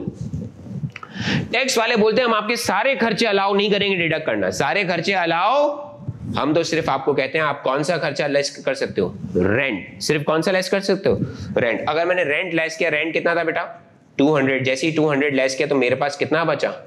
9800 9800 पर टैक्स 20 परसेंट लगाओ तो कितना बनता है? जल्दी से बताना। One nine six. One nine six zero. Plus six zero. Six zero. ठीक है? अच्छा सपोज़ करो आप ऐसे मुल्क में रहते हो, वो आपसे कहते हैं कि भाई ये जो आपकी इनकम है, आप एक ऐसे ये बात अगर आपकी एक बार समझ में आ गई ना, फिर चाहे आप टैक्सेशन के पेपर में चले जाओ रिपोर्टिंग के पेपर में चले जाओ, किसी भी पेपर में चले आपको बड़ी आसानी हो जाएगी चीज़ों को क्या करने में, समझने में। बोला, बेटा इनकम कितनी हो गई? टेन थाउज़ेंड अब वो टैक्स वाले बोलते हैं, भाई, आप रेंट भी डिडक्ट करो, आपको हम बल्कि अलाउ करते हैं, आप डेप्रिसिएशन भी डिडक्ट करो।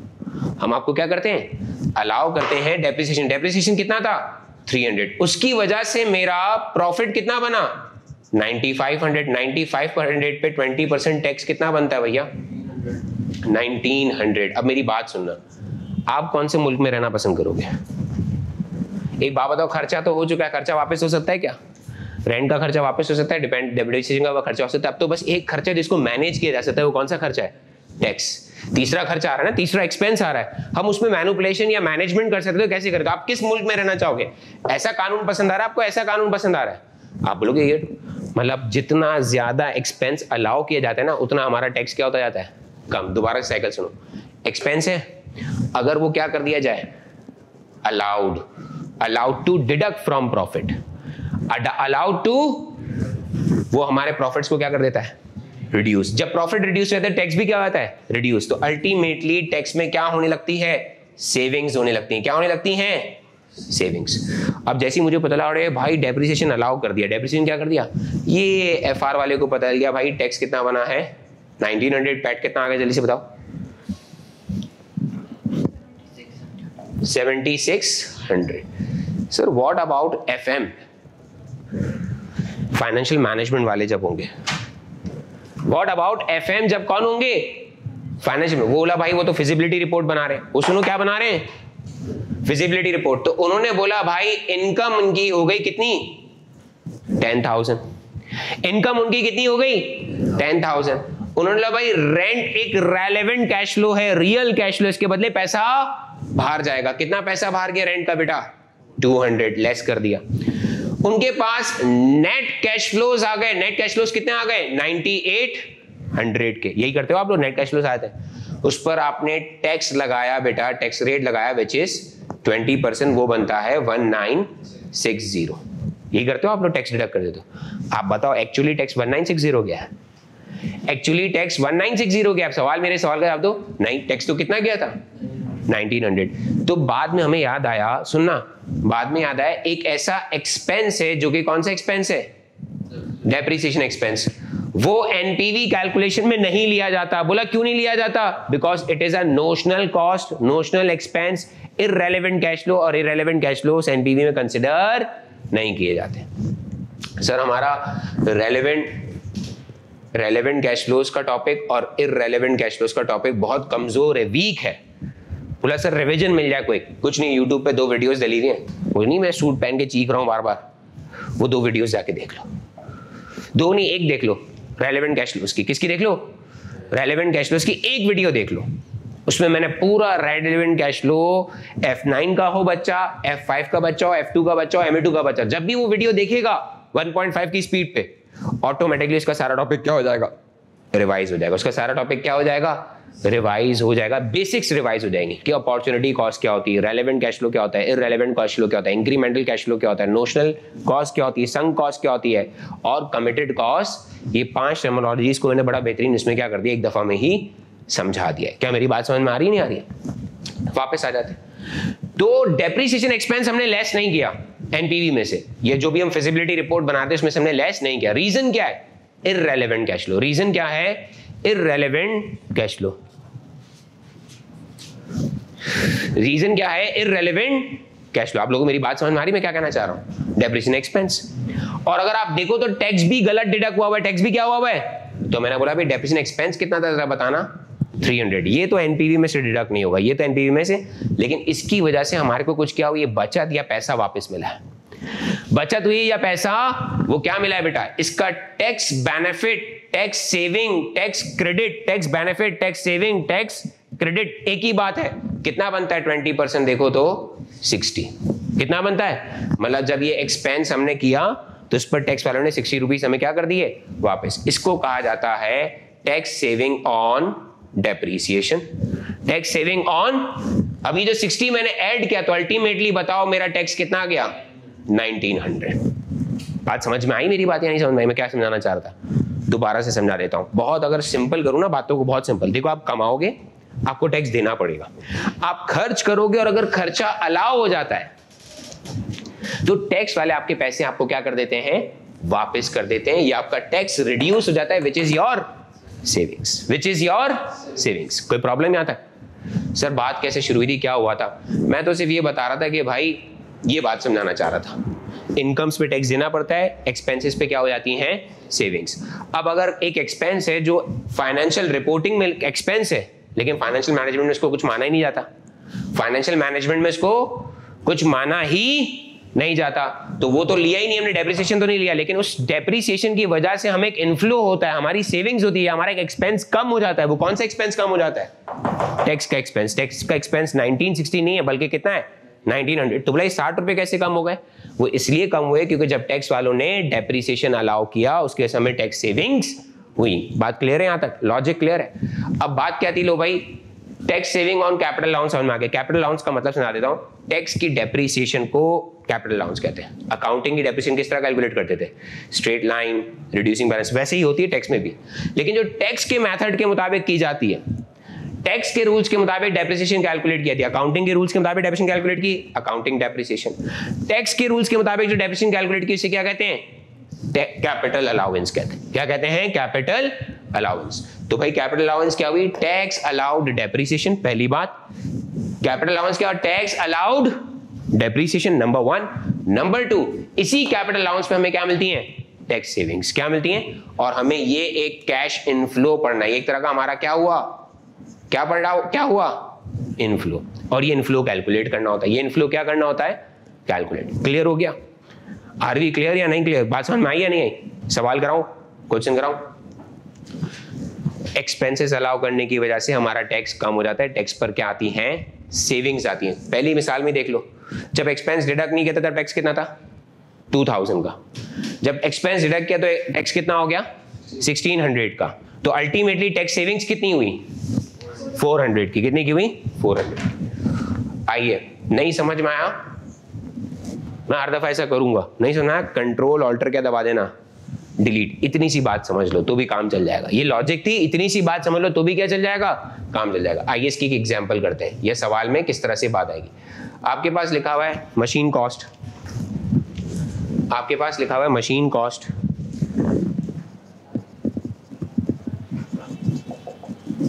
Two hundred thousand dollars life of project life of machine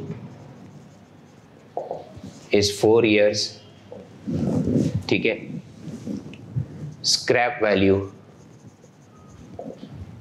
is twenty thousand dollars. Um, capital allowance capital allowance will be charged at straight line method. Straight line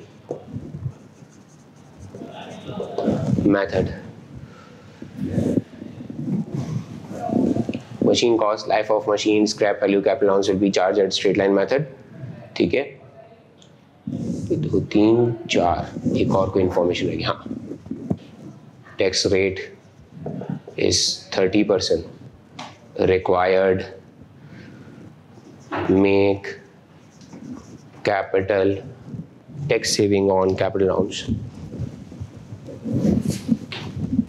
Make tax savings on capital allowance schedule.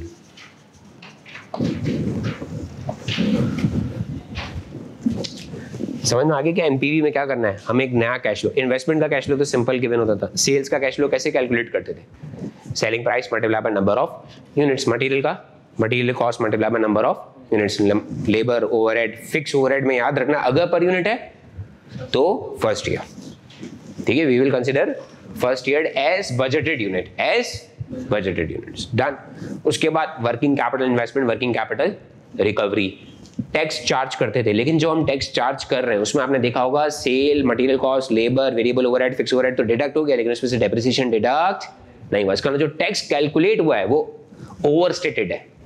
दोबारा बताऊँ, जो income है, उसमें से हमने सारे expenses less कर दिए तो जो हमारे पास जो प्रॉफिट है, वो ओवर स्टेटेड है। तो ये टैक्स भी जो आया, वो क्या है? तो उसकी एडजस्टमेंट डालने के लिए हमें कैश फ्लो कैलकुलेट करना पड़ता है। उस कैश फ्लो का नाम क्या है? टैक्स सेविंग्स क्या नाम है? टैक्स सेविंग्स आइए कैसे होगा? वो टैक्स सेविंग्स कैसे होंगी। तो आपके पास ये डिटेल है भाई, एक मशीन है, उसकी कॉस्ट कितनी है? दो लाख। उसकी लाइफ ऑफ़ मशीन कितनी है? चार साल। स्क्रैप वैल्यू कितनी है? Twenty thousand capital allowance will be charge at straight line method tax वाले डेप्रिसिएशन कैलकुलेट करते हैं, किस मेथड के मुताबिक? स्ट्रेट लाइन अब अकाउंट्स वाले कैसे करते हैं? इसका मुझे कोई फ़र्क पड़ता? नहीं है। मुझे टैक्स की बात पता करनी है। Tax rate is thirty percent मतलब अगर कोई इनकम हुई तो भी इस पर टैक्स कितना देना पड़ेगा? थर्टी परसेंट और अगर कोई एक्सपेंस हुआ तो उसमें मुझे टैक्स क्रेडिट या बेनिफिट भी कितने परसेंट पे मिलेगा? थर्टी परसेंट भी मिलेगा। Make tax saving on capital allowance schedule एक शेड्यूल बनाना पड़ता है जिसकी सिर्फ़ तीन कॉलम जिसकी सिर्फ़ कितने कॉलम है? तीन। सबसे पहले आपके पास आ जाते हैं ईयर्स सबसे पहले आपके पास क्या जाते हैं? ईयर्स कितने सालों का काम करना है। दूसरा आपके पास अच्छा टैक्स थर्टी परसेंट ना? सेम ईयर अच्छा कभी कुछ ना लिखूं तो इसका मतलब टैक्स चार्ज किसमें हो रहा है? सेम है पे पे और चार्ज किसमें हो रहा है? सेम है जिस साल का टैक्स कैलकुलेट है उसी साल में ही पे हो रहा है। अच्छा भाई दूसरा आपके पास क्या आ गया? कैपिटल अलाउंस कैपिटल अलाउंस किस पर कैलकुलेट हो रहा है? स्ट्रेट लाइन के ऊपर कैलकुलेट हो रहा है। किस पे कैलकुलेट हो रहा है? इसी डेप्रीसिएशन पे, ये टैक्स डेप्रीसिएशन पे हमें क्या मिलती हैं? टैक्स सेविंग्स क्या मिलती हैं? तो हमने टैक्स सेविंग्स की हेडिंग डाल दी। किसकी हेडिंग डाल दी? टैक्स सेविंग हमारे पास ईयर्स कहाँ से year zero one two three four और फाइव एहतियातन एक ऊपर कर दिया। एहतियातन अभी एक ऊपर कर दिया। ये आपकी एक्सेल की शीट चल रही है। ये आपकी क्या चल रही है? एक्सेल की sheet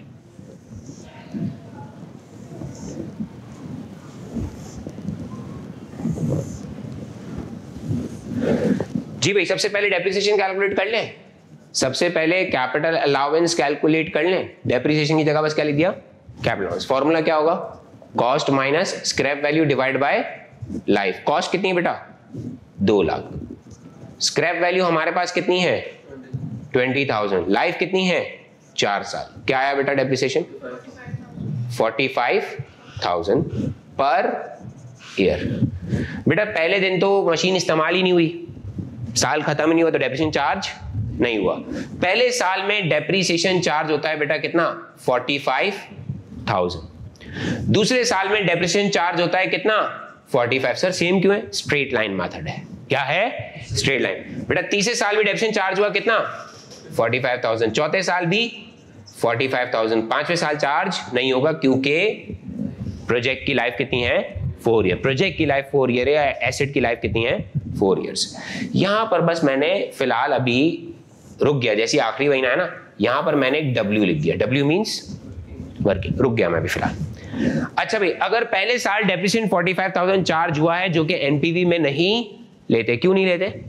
Reason irrelevant cash flow non cash expense NPV में कैश फ्लोस लिए जाते हैं नॉन कैश एक्सपेंसेस नहीं लिए जाते इसका बेटा आपने लिया 45,000 का कितना? 30 परसेंट सेविंग होगी। 45,000 का 30 परसेंट लो कितना आया? 13,500 13,500 13,500 अब आ जाए डब्ल्यू के ऊपर. अब आ जाओ डब्ल्यू के ऊपर. देख रहे हो वर्किंग देख रहे हो? गौर से देखना. बेटा एसिड की कॉस्ट कितनी थी? 200,000 अब तक एक्यूमुलेटेड डेप्रीसिएशन कितना डिडक्ट हो चुका है? 45,000 multiply by 45,000 multiply by four चार साल का पूरा डिडक्ट कर दो। चार साल का डिडक्ट कर दो कितना हो गया बेटा? जल्दी से बताओ। 180,000 अच्छा याद रखना चौथे साल का भी डेप्शन लिया मैंने नहीं है। या अगर आपको बहुत ज़्यादा शौक हो रहा है तो आप यहाँ 45,000 लिख लो फ़िलहाल। बहुत ज़्यादा क्योंकि जब वर्किंग कर रहा हूँ तो यहाँ पे वर्किंग क्यों करके दिखाऊँगा? वर्किंग सारी यही होगी ना। तो बेटा कितना हो गया? टोटल डेप्रिसिएशन हो गया। बेटा नेट बुक वैल्यू अभी भी एसिड की कोई वैल्यू बच रही होगी विच इज़ कितनी बच रही होगी? ट्वेंटी थाउज़ेंड विच इज़ कितनी बच रही होगी? ट्वेंटी। बेटा, मेरी स्क्रैप वैल्यू कितनी थी? मेरी स्क्रैप वैल्यू कितनी थी? Twenty thousand. क्या मुझे कोई गेन या लॉस हुआ है? अगर होता तो सर क्या होता? सोचो, चौथे साल एक एक्सपेंस होता फोर्टी फाइव थाउज़ेंड का डेप्रिसिएशन चौथे साल एक एक्सपेंस होता, वो कितने का होता? फोर्टी फाइव थाउज़ेंड चौथे साल ही मुझे गेन भी होता और लॉस भी। चौथे साल मुझे गेन भी होता और लॉस भी और अभी टैक्स वालों ने कहा, अगर फ़ायदा हुआ तो हम क्या चार्ज करेंगे? टैक्स और अगर नुकसान हुआ तो क्या देंगे? टैक्स क्रेडिट टैक्स सेविंग्स मेरी बात समझ में आ रही है? तो अगर देखा जाए तो सिर्फ़ चौथे साल डेप्रीसिएशन का खर्चा नहीं हुआ। चौथे साल सिर्फ़ डेप्रिसिएशन का खर्चा? चौथे साल जब मशीन बेचेंगे फोर्थ ईयर में जब मशीन सोल्ड आउट होगी देर विल बी गेन और लॉस जो कि मैंने यहाँ कैलकुलेट किया, यहाँ कितना आ रहा है? ज़ीरो। अब मैं लिखता फोर्थ ईयर डेप्रीसिएशन मिसाल के तौर पे यहाँ पे कुछ भी होता। फोर्थ ईयर डेप्रीसिएशन तो बेटा फोर्थ ईयर डेप्रीसिएशन कितनी है? फोर्टी फाइव थाउज़ेंड दोनों को प्लस कर देता तो अब मेरे पास कितना आंसर आ जाता? अभी फ़िलहाल 45,000 आ रहा है। अभी फ़िलहाल कितना आ रहा है? 45,000 तो भाई आपके पास यहाँ पर भी आंसर क्या हुआ? 45,000 लेकिन याद रखना लास्ट ईयर में आपको क्या करनी होगी? वर्किंग क्योंकि टैक्स का बड़ा सिंपल असूल है। बहुत सिंपल असूल। मैं आपको कह रहा हूँ टैक्स नहीं भी आता ना बहुत सिंपल सी बात याद रख लो वो भी काफ़ी है। कमाया टैक्स देना पड़ेगा। खर्च किया तो टैक्स आपको वापस मिल जाएगा। टैक्स आपको सेविंग्स मिल जाएँगे। आपको क्या मिल जाएँगी? आपका टैक्स कम हो जाएगा। बहुत सिंपल था। एक फोर्थ ईयर में 45,000 का डेप्रिसिएशन हुआ। अगर सपोज़ करो यहाँ आ जाता लॉस 20 का तो टोटल टोटल मुझे एक्सपेंस कितना मिलता? 65,000 का। कितने का मिलता? अगर बेटा यहाँ 20 लिखा होता 20 प्लस 45 कितना आता 65 अच्छा अगर इनकम लिखी होती 10 की इनकम मतलब गेन ऑन डिस्पोजल। तो बेटा फिर यहाँ पर कितना आया था? 35 यहाँ पर कितना आ जाता? 35 क्लियर है? तो बोला अभी तो फ़िलहाल 45 है वो 45 फाइव यहाँ जाके रखा। इसका भी आपने बेटा 13 परसेंट लिया विच इज़ कितना हो गया? 13,500 अच्छा जिस साल का डेप्रिसिएशन है उसी साल का कैश फ्लो वजह इस साल डेप्रिसिएशन चार्ज हुआ है इसका टैक्स भी कब मिलेगा? इसी साल। इस साल डेप्रिसिएशन चार्ज हुआ इसी साल। इस साल डेप्रिसिएशन चार्ज हुआ, इसी साल। इसी साल डेप्रिसिएशन चार्ज हुआ, खत्म। अब ये टैक्स सेविंग अगर आपने कैश फ्लोज कंप्यूट किए ना, ये कहाँ चले जाएँगे एनपीवी शेड्यूल में चले जाएँगे किसमें चले जाएँगे एनपीवी के सवाल में। कोई डाउट है, कोई बात मुश्किल लग रही है, कोई मसला है तो बताओ। कुछ पूछना है तो पूछो। दोस्त, कोई मसला है? क्लियर है? सागर क्लियर है? ठीक है? आज हम नेक्स्ट बात करते हैं, एक और प्रैक्टिस कर लेते हैं। एक और मैं पे क्या कहते हैं, सवाल की मिटा दूँ? या पिक्चर लेनी है? पिक्चर ले लो, ताकि तुम्हें याद रहे कि टैक्स सेविंग्स क्यों लेते थे।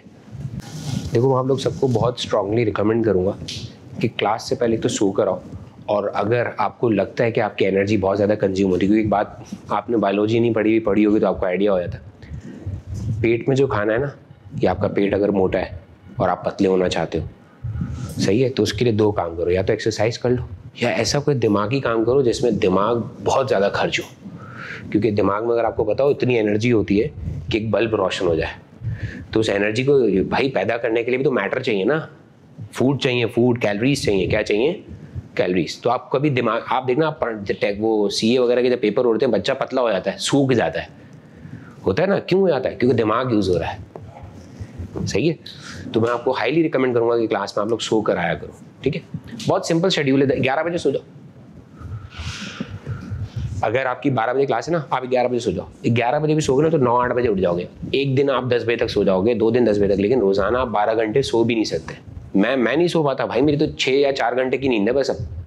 छः घंटे, चार घंटे छः घंटे, चार घंटे। सही है? बाकी योर कॉल है यार, मुझे क्या है? अब देखो ना, उसकी लेक्चर क्वालिटी कितनी खराब हो गई है। मुझे ऐसा फील हो रहा है कि वो ये सोच रही है अब यार सर अच्छा नहीं पढ़ा रहे। अबे मैं, मेरा कसूर थोड़ी है। में आ रही नहीं आ रही है? तो काइंडली यार, सो कर ज़रूर आएगा क्लास में। लगता है मुझे रोज़ाना पाँच मिनट का वॉइस नोट ज़रूर डालना पड़ेगा। भाई, आज सो जाओ, इतने बज गए। सो के आया करो यार। हमें, नहीं नहीं, हमें अच्छा एक बात बताऊँ। मैं मैं जिस एज में पहुँच गया ना मैं सच बताऊँ, मैं इससे भी ज़्यादा कामयाब होता। मैं आज जितना भी कामयाब हूँ या आपको लगता हूँ या जो भी वॉट एवर द केस में इससे भी ज़्यादा कामयाब होता। पता है क्या? अगर मैं अपनी ज़िंदगी में डिसिप्लिन ले आता तो अपनी ज़िंदगी में डिसिप्लिन ले आता। मुझे अच्छी तरह याद है, मेरा एक पेपर है, वो फिफ्टी पे क्लियर हुआ है। पी वन कॉर्पोरेट गवर्नेंस हुआ करता था पी वन ठीक है? ये भी बड़ा टेढ़ा पेपर होता था। अब तो एस बी एल और पी थ्री को मर्ज कर दिया ना कॉर्पोरेट मेरा फिफ्टी पे क्लियर हुआ था। लेकिन उस पेपर में पता क्या करता था? रातों को मूवियाँ देखता था पूरी पूरी रात। चार मूवियाँ देख के सोता था। फिर मैं उठता ही डायरेक्ट क्लास के लिए था। क्लास के लिए तो तैयार व्यार होता क्लास के लिए जाता था। लेकिन क्लास में कुछ समझ में आता मैं नींद नींद के झोंकों में होता था। कभी भी मैंने कॉर्पोरेट गवर्नेंस का जो पेपर था ना, वो इज़्ज़त दी नहीं इसको। अच्छा वो कोई भी उसको, उस पेपर को कभी पूछना सीजी के बारे में कॉर्पोरेट गवर्नेंस का जो पेपर था, उसके बारे में कभी पूछना, किसी ने भी इस पेपर को इज़्ज़त नहीं दी। तभी तो पेपर भी क्या कर दिया? खत्म खत्म फेल थोड़ी क्या, खत्म कर दिया। क्या कर दिया? एसीसी वालों ने खत्म कर दिया इसको मर्ज कर दिया एसबीएल के साथ। क्योंकि बहुत छोटा कोर्स था, बहुत छोटा कोर्स पी सीरीज़ का सबसे छोटा कोर्स समझ आ रही? नहीं आ रही। बट मेरा कहने का मकसद ये कि देखो, मुझे एक बात समझ में आ गई थी कि अगर मैंने किसी पेपर को सीरियस नहीं लिया अच्छा छः छः महीने वाली अटैम्प्ट होती ना, मैं कहता, रातों को जागो। पहले तीन महीने शुरू के नहीं पढ़ा आखिरी के तीन महीने पढ़ लिया। ये तो है ही आखिरी के क्या? तीन महीने यार। फिर आप बोल लो जल्दी भी आना है मार्केट में। अबे, ऐसे थोड़ी होगा यार, मेहनत करनी पड़ेगी, कुर्बानियाँ देनी पड़ेगी। मैंने शादियाँ इतनी छोड़ी, आपको क्या बताऊँ? और अब मेरी आदत नहीं है शादियों में जाने की। मुझे खुआरी लगती है। एक दो घंटा तैयार हो ट्रैवलिंग करके जाओ, बीच में ट्रैफ़िक ट्रैफ़िक मिल गया। आजकल सड़कें, देखो क्या हालत हो गई सड़कों की। मैं बोलता हूँ, भाई, वो, आप मम्मी पापा आप लोग चले जाओ, मैं घर पे खाना मंगा लूँगा। नहीं चाहिए भाई फ्री का खाना, जिसमें इतना डिप्रेशन हो, सब कुछ हो। सवाल देख लो, ये दो क्वेश्चन एक पहला आप कर लो, दूसरा मैं करवा दूँगा। फिर एक डायरेक्ट वो करते हैं किट का क्वेश्चन किट्स हैं आप लोग के पास? किसी का किट्स हैं? मुझे याद दिला देना, मैं शेयर कर दूँगा। और सब काइंडली यार भाई पर्सनल में मैसेज कर दे। ठीक है, ताकि तेरी चैट ऊपर आ जाए। एक पर्सनल मैसेज सागर, आप भी कर देना। आप भी मुझे पर्सनल मैसेज कर देना। नवीन, आपने तो किया हुआ दूसरा इनसे कह देना, फिजा से मैसेज कर दे। तो फिर एक हम लोग ग्रुप बना लेते हैं। आप लोग दोनों को उसी ग्रुप में डाल दो, कोई इशू तो नहीं है। तो उसमें डाल देता हूँ। एक साथ ही क्या कहते हैं, उसमें बुक्स भी शेयर कर दूँगा, कुछ नोट्स भी शेयर कर दूँगा जो भी सारी बातें आएँगी ना, उसी के अंदर ही हम कम्युनिकेट करेंगे। If you are getting late just drop a message on the group और प्राइवेटली कि सर मैं दस मिनट पाँच मिनट लेट हो रहा हूँ वो भी बता दो। अच्छा मैं नॉर्मली हमेशा टाइम पर आता हूँ। आज टाइम पर आया हुआ था शजील शर्जील मैं मैं टाइम पर आया हुआ था। सही है? बहुत वंस इन ब्लू मून होता है। मतलब कभी अगर ऐसा हो ना कि देखो यहाँ फलस्तीन का कोई एहतजाज वगैरह बस आज सर लेट हो जाएँगे। आज सर क्या हो जाएँगे? लेट मतलब कोई सरकम टांस मुझे रोकता है वरना मेरी प्लानिंग्स में नहीं होता। मैं आपसे कह रहा हूँ डिसिप्लिन करो लाइफ को। अच्छा ये जो मैंने आपको शेड्यूल बताया इसमें आप इंजॉयमेंट रखो ना क्यों नहीं रखते? दस बजे उठे, दस से बारह पे आप तैयार होके आ गए, दस से बारह से तीन, सबकी एक क्लास है दो पेपर उठाए हुए कितने पेपर उठाए हुए हैं? दो दो उठाए हुए हैं। और सबने मार्च में ही देने दो दो पेपर बहुत, तुम लोग बहुत तेज ही जा रहे हो, बहुत अच्छी रफ्तार में जा रहे हो। सही है? चलो ठीक है। तो अगर दो दो उठाए हुए तो फिर तो वही वाली बात होगी, दो क्लासों के टाइम निकल जाते हैं। एक है? ठीक है। बाकी एफ़ नाइन है। ठीक है, कोई मसला नहीं है। तो तुम्हारा पार्ट टू को कोई भी पेपर नहीं हुआ हुआ, या हुआ हुआ है? एक दे चुके ना। बस ठीक है, चलो। नहीं, वो सी बी ए के मैं चाहता कि एक बच्चे का एक्सपीरियंस हो। तुमने तो एफ़ सिक्स किया हो तो तुम्हें पता कितनी कैलकुलेशन करनी पड़ती है, कितना एक्सेल शीट डाटा इधर उधर करना पड़ता है। और उसमें अगर वेरी फ़र्स्ट डे से एक्सेल स्टार्ट किया था, आखिरी में उठाया ना। आखिरी आखिरी में उठाया ना मतलब आखिरी एक पेपर के एक महीने बाद मतलब पढ़ाई के एक महीने बाद। क्लास स्टार्ट होने के एक महीने बाद। लेकिन मैं बस ये कह रहा हूँ कि वेरी फ़र्स्ट डे से आप लोग एक्सेल की क्या करो? मेरा पॉइंट मेरा मकसद क्या कहने का? प्लीज़ वेरी फ़र्स्ट डे आप एक्सेल की एक्सेल की तैयारी करो। चले जी, देखें क्या हुआ। अच्छा बहुत सिंपल बात की जाए। तो एक डेप्रिसिएशन है, जो हम एनपीवी में नहीं लेते। जिसकी वजह से हमारा टैक्स क्या हो जाता है?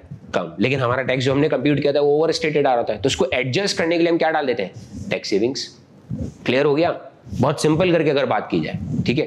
लॉजिक हमेशा याद ना, थोड़ी मुश्किल होती है, उसको समझना, हजम करना मुश्किल होता है, लेकिन once we get familiar with it तो फिर उसकी वर्किंग तो बहुत क्या है? सिंपल है। रोज़ाना ऐसी काम करना है। रोज़ाना, अब ये हर सवाल में होगा। हर सवाल में एनपीवी कैलकुलेट करने से पहले हम क्या कर लिया करेंगे? टैक्स सेविंग शेड्यूल बना लिया करेंगे। टैक्स सेविंग शेड्यूल तो हमारा एक कैश फ्लो पहले से तैयार होगा। एक कैश फ्लो पहले से क्या होगा? तैयार। जी भाई, इस सवाल में क्या करा? सबसे पहले आपने हेडिंग डाली ईयर्स की।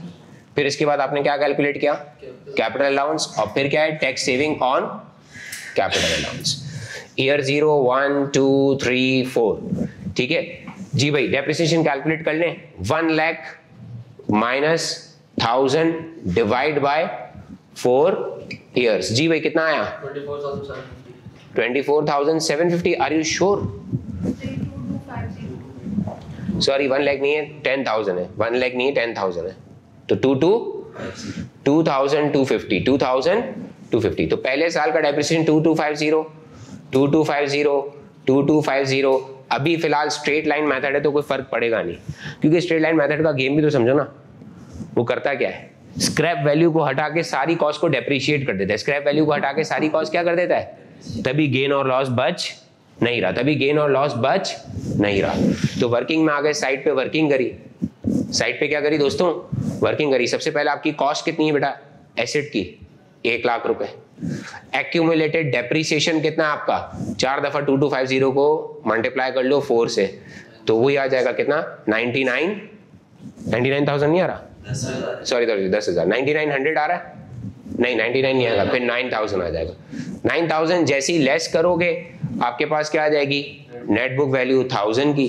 कैश प्रोसीड या स्क्रैप वैल्यू कितनी आ रही है? कैश प्रोसीड या स्क्रैप वैल्यू कितनी आ रही है? थाउज़ेंड तो अभी तो फ़िलहाल नो गेन नो लॉस है। अगर गेन लॉस होता तो उस पर भी टैक्स लगता। सही है? और साथ में एक और चीज़ भी तो ना fourth year depreciation fourth year depreciation वो कितनी हो जाती है बेटा? फोर्थ ईयर की depreciation twenty two five zero total आ गया ट्वेंटी टू फाइव ज़ीरो इसके ऊपर टैक्स रेट लगा दिया विच इज़ थर्टी परसेंट कितना है दोस्तों? टैक्स रेट तो बाद में लगा लेंगे ना। ट्वेंटी टू फाइव ज़ीरो जी भी टैक्स सेविंग्स कैलकुलेट करें। Four five zero four five zero four five zero four five zero clear are we clear चले, दूसरे देखते हैं। एयर कैपिटल अलाउंस और क्या आ गई? Tax saving on capital allowance year capital allowance tax saving on capital allowance सबसे पहले डेप्रिसिएशन कैलकुलेट कर लेते हैं। Twenty thousand divide minus five thousand divide by four years जी दोस्तों, क्या आंसर आया? Three seven five zero year zero one two three four and five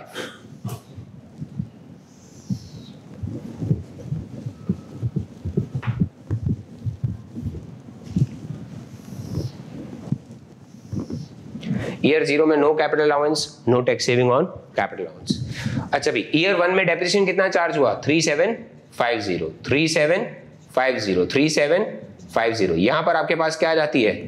working working यहाँ ऊपर कर रहा हूँ। वर्किंग यहाँ क्या कर रहा हूँ? ऊपर। वर्किंग क्या है? सबसे पहले आप अच्छा आप चाहो तो डायरेक्ट नेट बुक वैल्यू भी लिख सकते हो। चाहो तो आप क्या कर सकते हो? Direct net book value direct net book value calculator पे कैलकुलेट कर ली, दिमाग में कैलकुलेट करिए अब थोड़ी सी स्मार्टनेस सिखा रहा हूँ थोड़ी सी क्या सिखा रहा हूँ? सर शुरू में आपने डायरेक्ट क्यों नहीं सिखाया अबे भाई, शुरू में समझा रहा था ना, अगर डायरेक्ट काम कर दूँगा तो बच्चा बोलेगा नंबर कहाँ से आया? डायरेक्ट क्या लिख लो?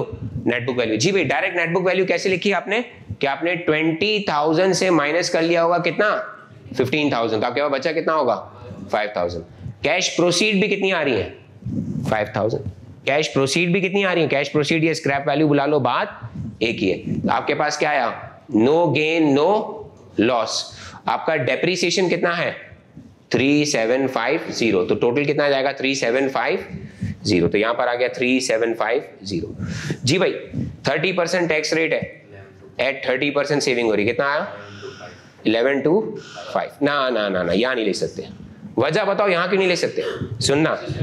इसका चूँकि, सोचो नहीं, पहले साल के प्रॉफिट का टैक्स दूसरे साल पे हो रहा है। तो जब प्रॉफिट पे टैक्स पे करने दूसरे साल जाएँगे तो टैक्स क्रेडिट भी कब मिलेंगे? दूसरे साल ही मिलेंगे। तो इसका बेटा यहाँ पर आपके पास टैक्स सेविंग्स आ जाएँगी which is one one two five इसकी ये एरो बनाना ज़रूरी है? नहीं एरो नहीं बनाना ज़रूरी है। आपके समझाने के लिए एरो बना रहा हूँ। आपके समझाने के लिए। One one two five one one inflow considered होगा। क्या कंसिडर होगा? इनफ्लो क्लियर है? आइए एक सवाल करते हैं किट का, चाम इनकॉर्पोरेशन मैं आपको व्हाट्सएप पे शेयर कर रहा हूँ। क्या नाम है? चाम इनकॉर्पोरेशन जो आपने अब तक पूरा सीखा है ना आज, उस पूरी बात का निचोड़ सवाल में, या समझो उस सवाल की क्या कराई जा रही थी? प्रिपरेशन ठीक है? तो आपको समझ आ जाएगा कि जो मैं आपसे प्रैक्टिकल लाइफ एग्ज़ाम्पल भी डिस्कस करा था, उससे भी आपको आइडिया हो जाएगा। इसमें कोई इशू है? दो नाम मैं हर दफ़ा बोल रहा हूँ सॉरी उमर। अबे यार, बहुत आसान है। उमर, सागर, एक इसका नाम बहुत मुश्किल है। एक दफ़ा लिख लेता हूँ ना, लिखने से अच्छा देखो, लिखने की ताकत। अब देखना नाम याद रहेगा। स्पेलिंग बताना दोस्त। एस ए जे अब मेरे अच्छे भी नहीं भूलेंगे, क्योंकि मेरी फिंगरप्रिंट्स ने लिखा है ना। मेरे फिंगर जो उसको इम्प्रेशन है, उसने लिखा ना शजीद ठीक है। मैं आपको सवाल भेजता हूँ। कहाँ है मोबाइल दूसरा वाला, वो पढ़ाओ।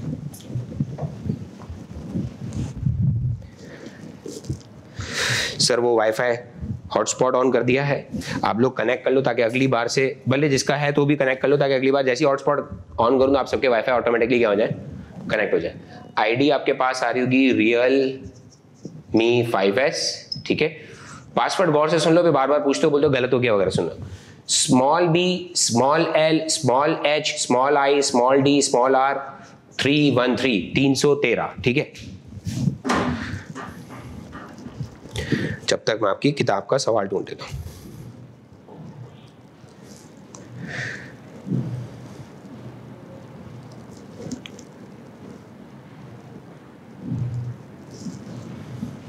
कितने बजे सोया था सागर? ओ तेरी रात को आठ बजे सो गया था? और बारह बजे उठा है? मैं बता रहा हूँ अगर नहीं सुधरे ना मैं मैं मैं देखो कैसे गेम खेलूँगा अब तू सो रात को देर से। जी, उमर, कितने बजे से? तो क्या कर रहा था भाई रात को जाग के सागर? और उमर, आप क्या कर रहे थे इतनी रात को? नहीं भाई, जी सजील। कितने बजे बजे रात के बारह बजे। दिस इज़ फाइन मर्ज़ी, और कॉल भाई, मुझे क्या है मैं दस बजे तो उठा हूँ देखो, मेरी बदुआ वदुआ लग गई ना, अक्सर मैं मैं प्रोडिक्शंस में बहुत अच्छा हूँ। मैं वाकई में बहुत अच्छा हूँ प्रोडिक्शंस में तो दुआ करो कि मैं तुम लोगों के लिए कोई प्रोडिक्शन ना कर दूँ। तो रूटीन सेट कर लो। खत्म हो गया यार पार्टी टाइम मसला सारा ये टाइम पार्टी टाइम से खत्म हो गया।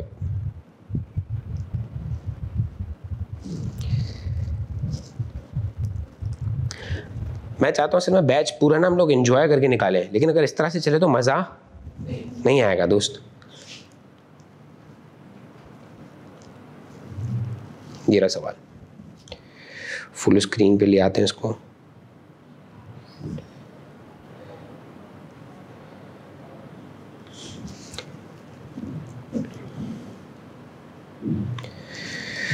अब आपके ग्रुप पर चले आते हैं। ग्रुप पे सब ऐड है ना? सब ग्रुप में है? दोस्त, उमर, हो ग्रुप है?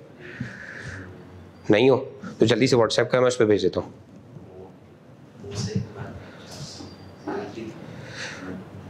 नंबर बताओ। नंबर डिलीट भी कर दिया। कैसा आदमी है। अच्छा अभी अगर मैं ढूंढूँगा ना, तेरा नंबर मुझे मिल भी जाएगा। Zero double three six, two eight four five. कोई मसला नहीं है।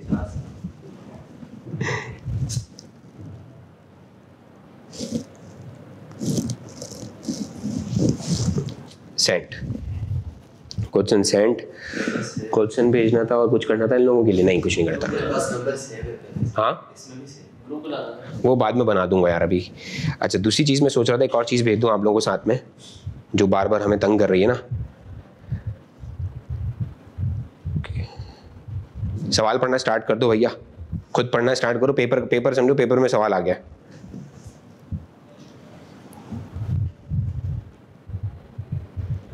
इसका तावीज़ बना लेना है जो दूसरी चीज़ भेज रहा हूँ ये एफ़ नाइन के पेपर के लिए बहुत अच्छा तावीज़ है। ठीक है? सुन रहे हो सागर? ये बहुत मेहनत से बनाया गया है ये तावीज़ अभी भेज रहा हूँ तुम्हें। ये तावीज़ जो अभी दूसरा भेज रहा हूँ दो पिक्चर और होंगी सवाल के बाद। सर सिर्फ़ सागर को भेज रहे नहीं सबको भेज रहा हूँ। इसको अपने साथ बाँध लो गले में लगा लो उसको। ये जो भी आपके पास आने वाला है। रोज़ाना पढ़ो इसको बार बार भेज दिया मैंने तावीज़, ये तावीज़ भेज दिया मैंने आपको। हाँ ग्रुप में भेज रहा हूँ, सिर्फ़ सागर को प्राइवेट में भेज रहा हूँ, क्योंकि सागर भाई साहब है तो हो अरे दादा, नाराज़ क्यों? रहे ले चार्जिंग दे देता हूँ चार्जर पड़े हैं तीन चार्जर पड़े होंगे बैग में, देख ले, कुछ जो अच्छा भी लग जाए। सी टैप तो नहीं है। फिर नहीं है।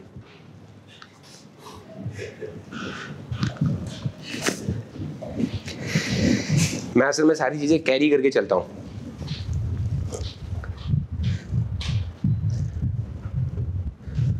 मिला तावीज़, मिला आप लोगों? को बस इसको छोटा करवा के बस गले में डालवा लेना। यूँ उठा उठा के पढ़ लेना, जैसी कुछ हाँ।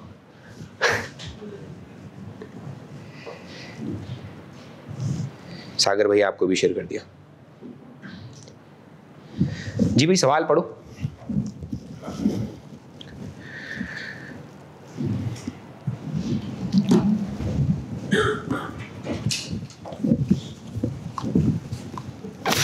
अबे तुम लोग के साथ इतना जल्दी टाइम गुजर गया यार। क्या मैग्नेटिक पर्सनैलिटी तुम लोगों की? हैं? ऐसा मुझे लोग कहते हैं। अच्छा चाम इनकॉर्पोरेशन क्या कह रहा है भाई चाम इनकॉर्पोरेशन का सवाल? चाम इनकॉर्पोरेशन आज सॉफ्टवेयर कंपनी क्या है भैया?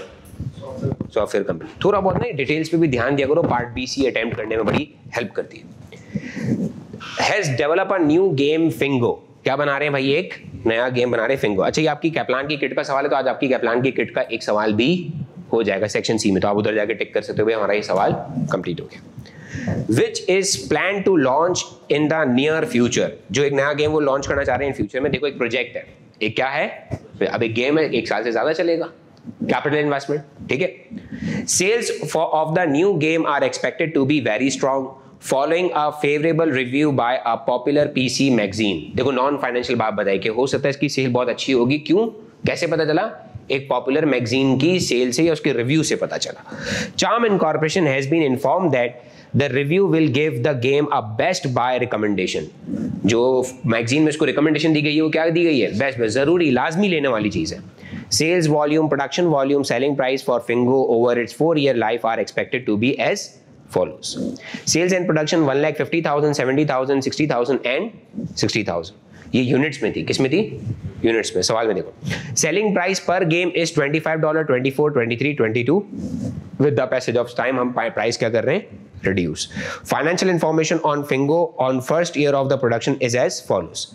Direct material 5.5 5.4 per game, other variable production cost is 6 per game, fixed cost 4 per game.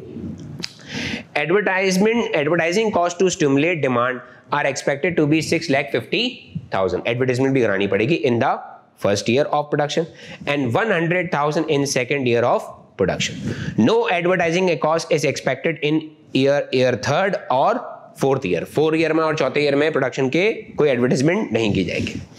Fix cost represent incremental fix production over ये जो ऊपर फिक्स कॉस्ट दी है, ये क्या है? Incremental fix production incremental fix overhead याद करो रेलेवेंट हुआ करते थे। क्या हुआ करते थे? रेलेवेंट ठीक है? अगेन कह रहा हूँ, अगर किसी का रेलेवेंट इरेलीवेंट वीक है, उसका होमवर्क समझ लो, घर जाए के एन एस के यूट्यूब पे जाए, आप मुझे बहुत बता देना, मैं लिंक भेज दूँगा। ठीक है? आज मुझे क्या क्या भेजना है? बुक भेजनी है। किट भेजनी है।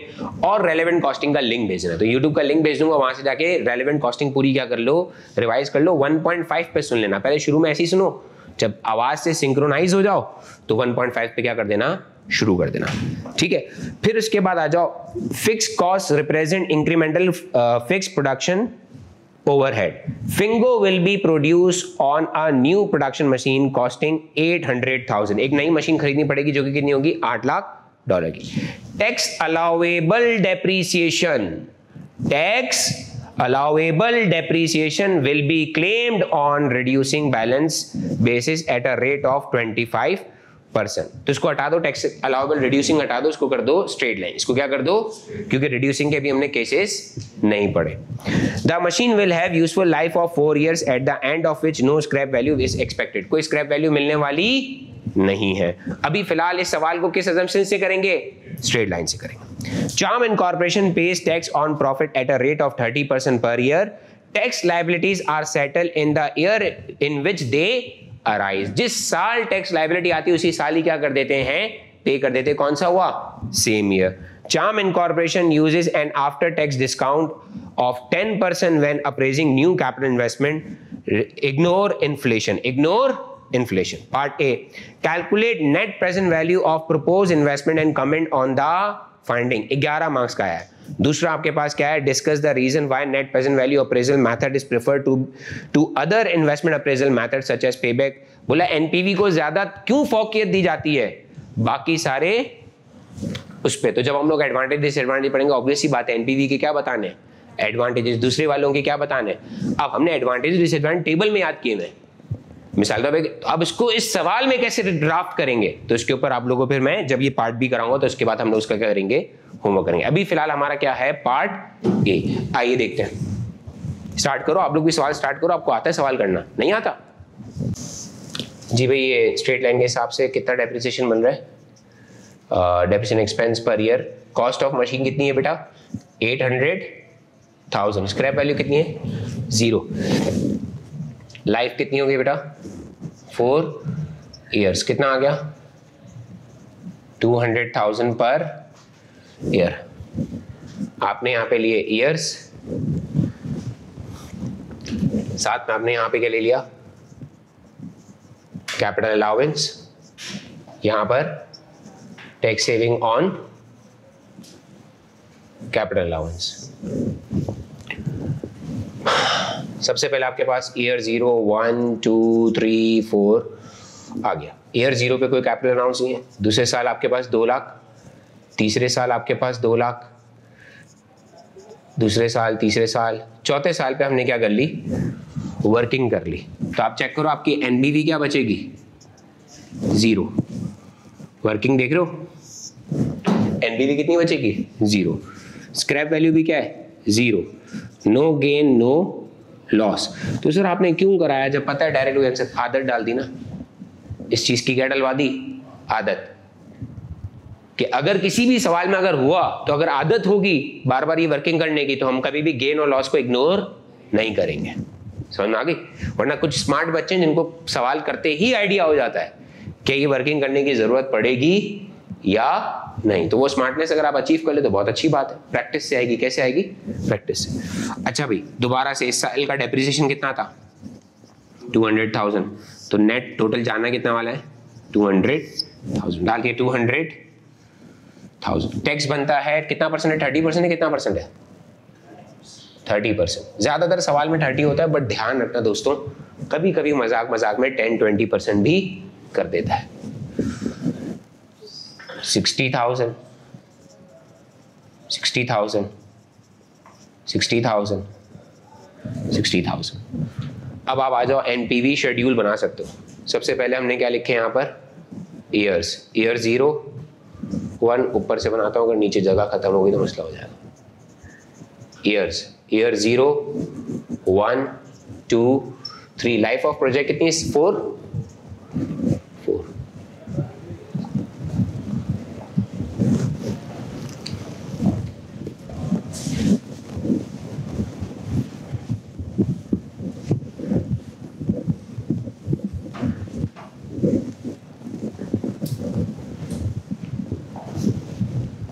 सबसे पहले आपके पास क्या आ गई दोस्तों?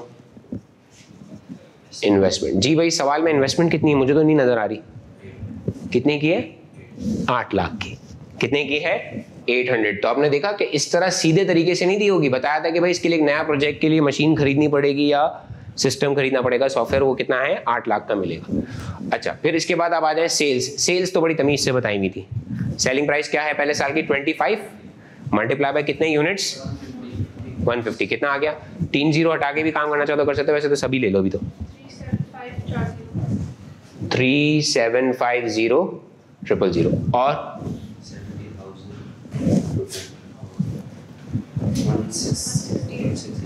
One six eight zero triple zero कोशिश करना कि सवाल पहली दफ़ा में क्या हो जाए। सही हो जाए, अक्सर बच्चों की कैलकुलेशन की वजह से सवाल गलत होता है। किसकी वजह से होता है? कैलकुलेशन की वजह से। आपने 24 को मल्टीप्लाई किया है किससे? 70 से? फिर आपने 23 को मल्टीप्लाई किया 60 से क्या आंसर आया?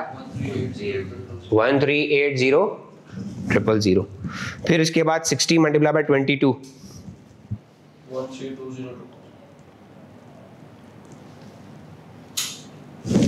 one two three two zero triple zero sales के बाद अगर आप देखोगे तो आपके पास डायरेक्ट मटेरियल है। डायरेक्ट क्या है? मटेरियल जी भाई मटेरियल की क्या कॉस्ट कितनी है? 5.4 कोई चेंजेस तो नहीं है? नहीं है. डायरेक्ट मल्टीप्लाई करो 150 से कितना आया?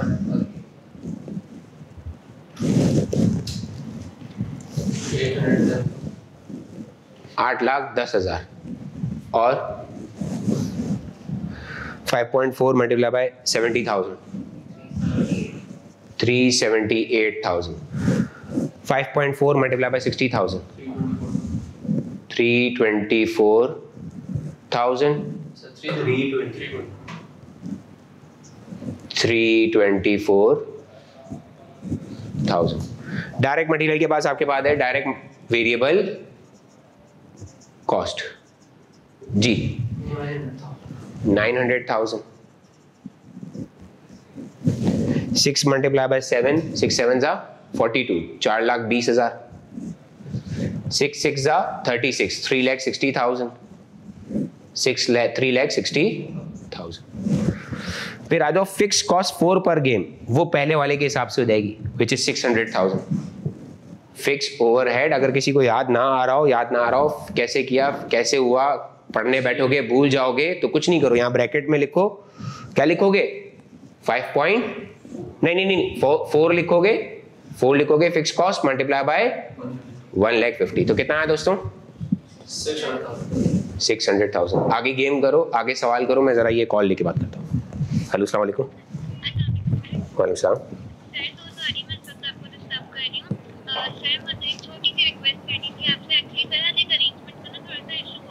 हो। है हाँ। हाँ है है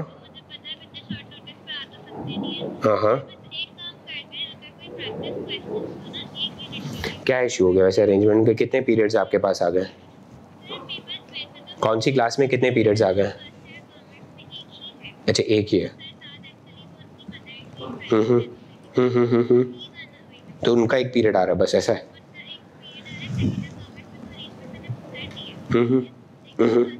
चलो, मैं आपको टेस्ट पेपर भेज देता हूँ। टेस्ट पेपर भेज देता हूँ। ठीक है ओके ओके मैम ओके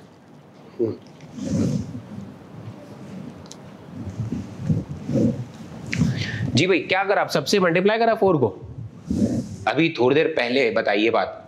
पता नहीं बच्चे पेपर में, टेस्ट में क्यों भूल जाते हैं और पता नहीं रवानी में शायद गलत कर देते हैं। अब तो दो तीन दफ़ा जगा के बता दी भाई फिक्स कॉस्ट चेंज हो सकती है but due to level of activity change नहीं होगी। अच्छा फिर और भी फिक्स कॉस्ट है, मेरा इससे ये नहीं है, फिर इसके बाद अच्छा ये कौन सी थी फिक्स कॉस्ट ये फिक्स प्रोडक्शन कॉस्ट थी। कहाँ पता चला? नीचे जुमला बताया था। फिक्स कॉस्ट प्रेजेंट एक लाइन लिखी हुई है। कभी कभी बच्चा बोलते समझ में नहीं आ रहा। तो लिखा fix cost represent incremental cash fix production overhead cash क्यों बोला? ताकि कैश फ्लो रेलिवेंट हो जाए। इंक्रीमेंटल क्यों बोला? ताकि रेलिवेंट हो जाए। क्योंकि जनरल फिक्स ओवरहेड या जो हेड ऑफ़िस फिक्स ओवरहेड थे, वो लिए जाते नहीं ये वो फिक्स ओवरहेड है प्रोडक्शन कॉस्ट का। ये फिक्स ओवरहेड है या फिक्स फिक्स प्रोडक्शन ओवरहेड है कि अगर फिंगो बनाऊँगा तो ये खर्चा आएगा फिंगो नहीं बनाऊँगा तो ये खर्चा नहीं आएगा। ठीक है? अच्छा फिर इसके बाद है आपके पास एडवर्टाइजिंग है ना एडवर्टाइजिंग जी। एडवर्टाइजिंग के कितने हिसाब किताब बन रहा है? पहले साल का कितना बन रहा है? सिक्स लैख फिफ्टी थाउज़ेंड और दूसरे साल कितना खर्चा आ रहा है? हंड्रेड थाउज़ेंड इसके बाद अगर बात की जाए तो हमारे पास और क्या है? सेल्स हो गई direct material variable production overhead advertising investment बस खत्म। अब आपने इसके बाद क्या कर दिया? टैक्सेबल प्रॉफिट्स कैलकुलेट कर दिए। क्या कैलकुलेट कर दिए? टैक्सेबल प्रॉफिट तवज्जो देना सवाल में भी अचानक से टर्न स्विच आएगा बड़ा जी भी टैक्सेबल प्रॉफिट में यहाँ पे इन्वेस्टमेंट में कितना आ गया? एट हंड्रेड थाउज़ेंड नेगेटिव यहाँ पे कितना बचा? पता है क्या करो? ये देखो, तीन तीन ज़ीरो के बाद मैंने कॉमा मार दिया। तो सिर्फ़ ये जो शुरू के नंबर है ना वो ले थ्री जीरोस इग्नोर कर दो। थ्री जीरोस क्या कर दो? इग्नोर तो कैलकुलेशन जल्दी हो जाएगी।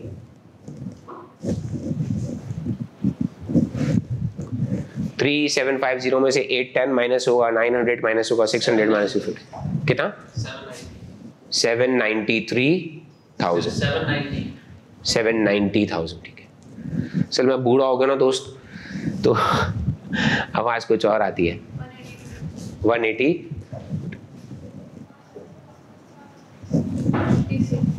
ninety six thousand इतना बेचा वेचा मिलियंस में खेला, बच के आ रहा है but it is still in dollars ठीक है? जी। थर्टी सिक्स थाउज़ेंड अच्छा फिर इसके बाद आपके पास क्या है? टैक्स किस पर है? At thirty percent no tax how much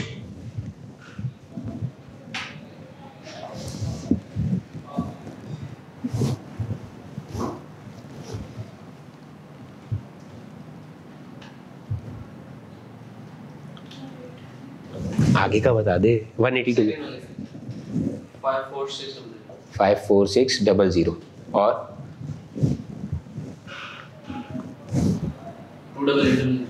Two double eight double zero और?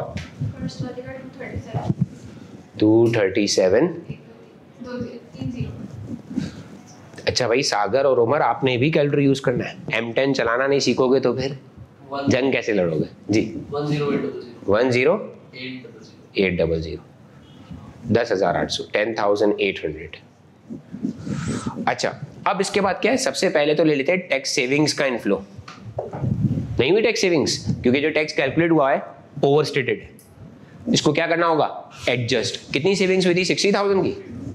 सिक्सटी थाउज़ेंड यहाँ सिक्सटी थाउज़ेंड यहाँ सिक्सटी थाउज़ेंड यहाँ सिक्सटी थाउज़ेंड यहाँ। अच्छा टैक्स सेविंग्स भी हो गई। फिर उसके बाद अगर देखा जाए तो कोई चीज़, है हाँ एक और कैश फ्लो है। बेटा, जब मशीन बेची तो स्क्रैप वैल्यू आती। मशीन बेचते तो क्या आती? लेकिन इस सवाल में कोई स्क्रैप वैल्यू नहीं है।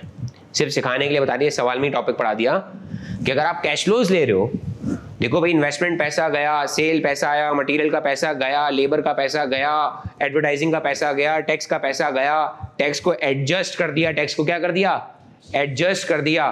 फिर एक बात सोचो, इसी प्रोजेक्ट में उसकी मशीन भी तो बेचोगे तो उसकी स्क्रैप वैल्यू आती। तो अगर होती तो मैं यहाँ पे स्क्रैप वैल्यू ले लेता विच इज़ यहाँ पर क्या है? ज़ीरो ठीक है? अब आपके पास क्या बच जाते? नेट कैश फ्लोस क्या बच जाते? नेट कैश फ्लोस जी भाई, यहाँ पे क्या आ गया? एट हंड्रेड थाउज़ेंड नेगेटिव जी बताइएगा जरा।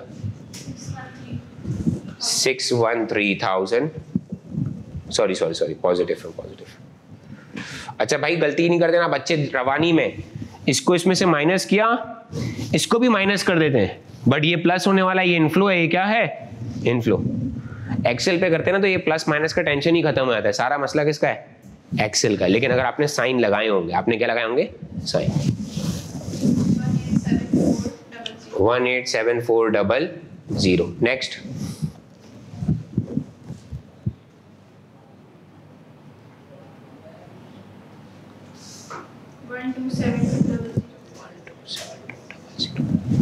85 400 85 200 इसके बाद आपके पास आ जाता है discount factors at ten percent है? टेन है? आफ्टर टैक्स टेन परसेंट दिया हुआ था। ठीक है?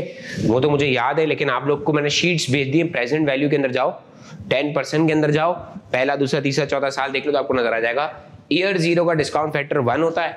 ईयर वन का होगा 0.909, 0.826, 0.751, 0.68, थ्री मैंने तो इतने दफ़ा सवाल सॉल्व किया कि मुझे क्या हो गया है?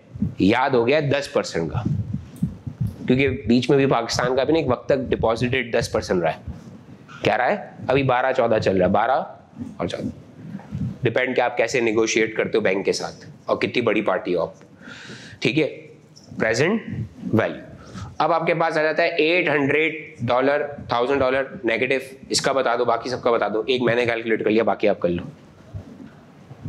Five five seven two one ये फ़र्स्ट वाला. Five five seven two one seven. Sir जब हम इसको किट से मैच करेंगे तो हमारा सवाल का जवाब सही आएगा या गलत आएगा? बोला गलत आएगा क्यों? क्या पे हमने रिड्यूसिंग नहीं किया स्ट्रेट लाइन कर दिया। कल नेक्स्ट क्लास में जब आप आओगे तो आपका क्या करवाऊँगा मैं? रिड्यूसिंग बैलेंस की प्रैक्टिस कराऊँगा किसकी कराऊँगा? रिड्यूसिंग जी। 15479 one five four seven nine 2 two.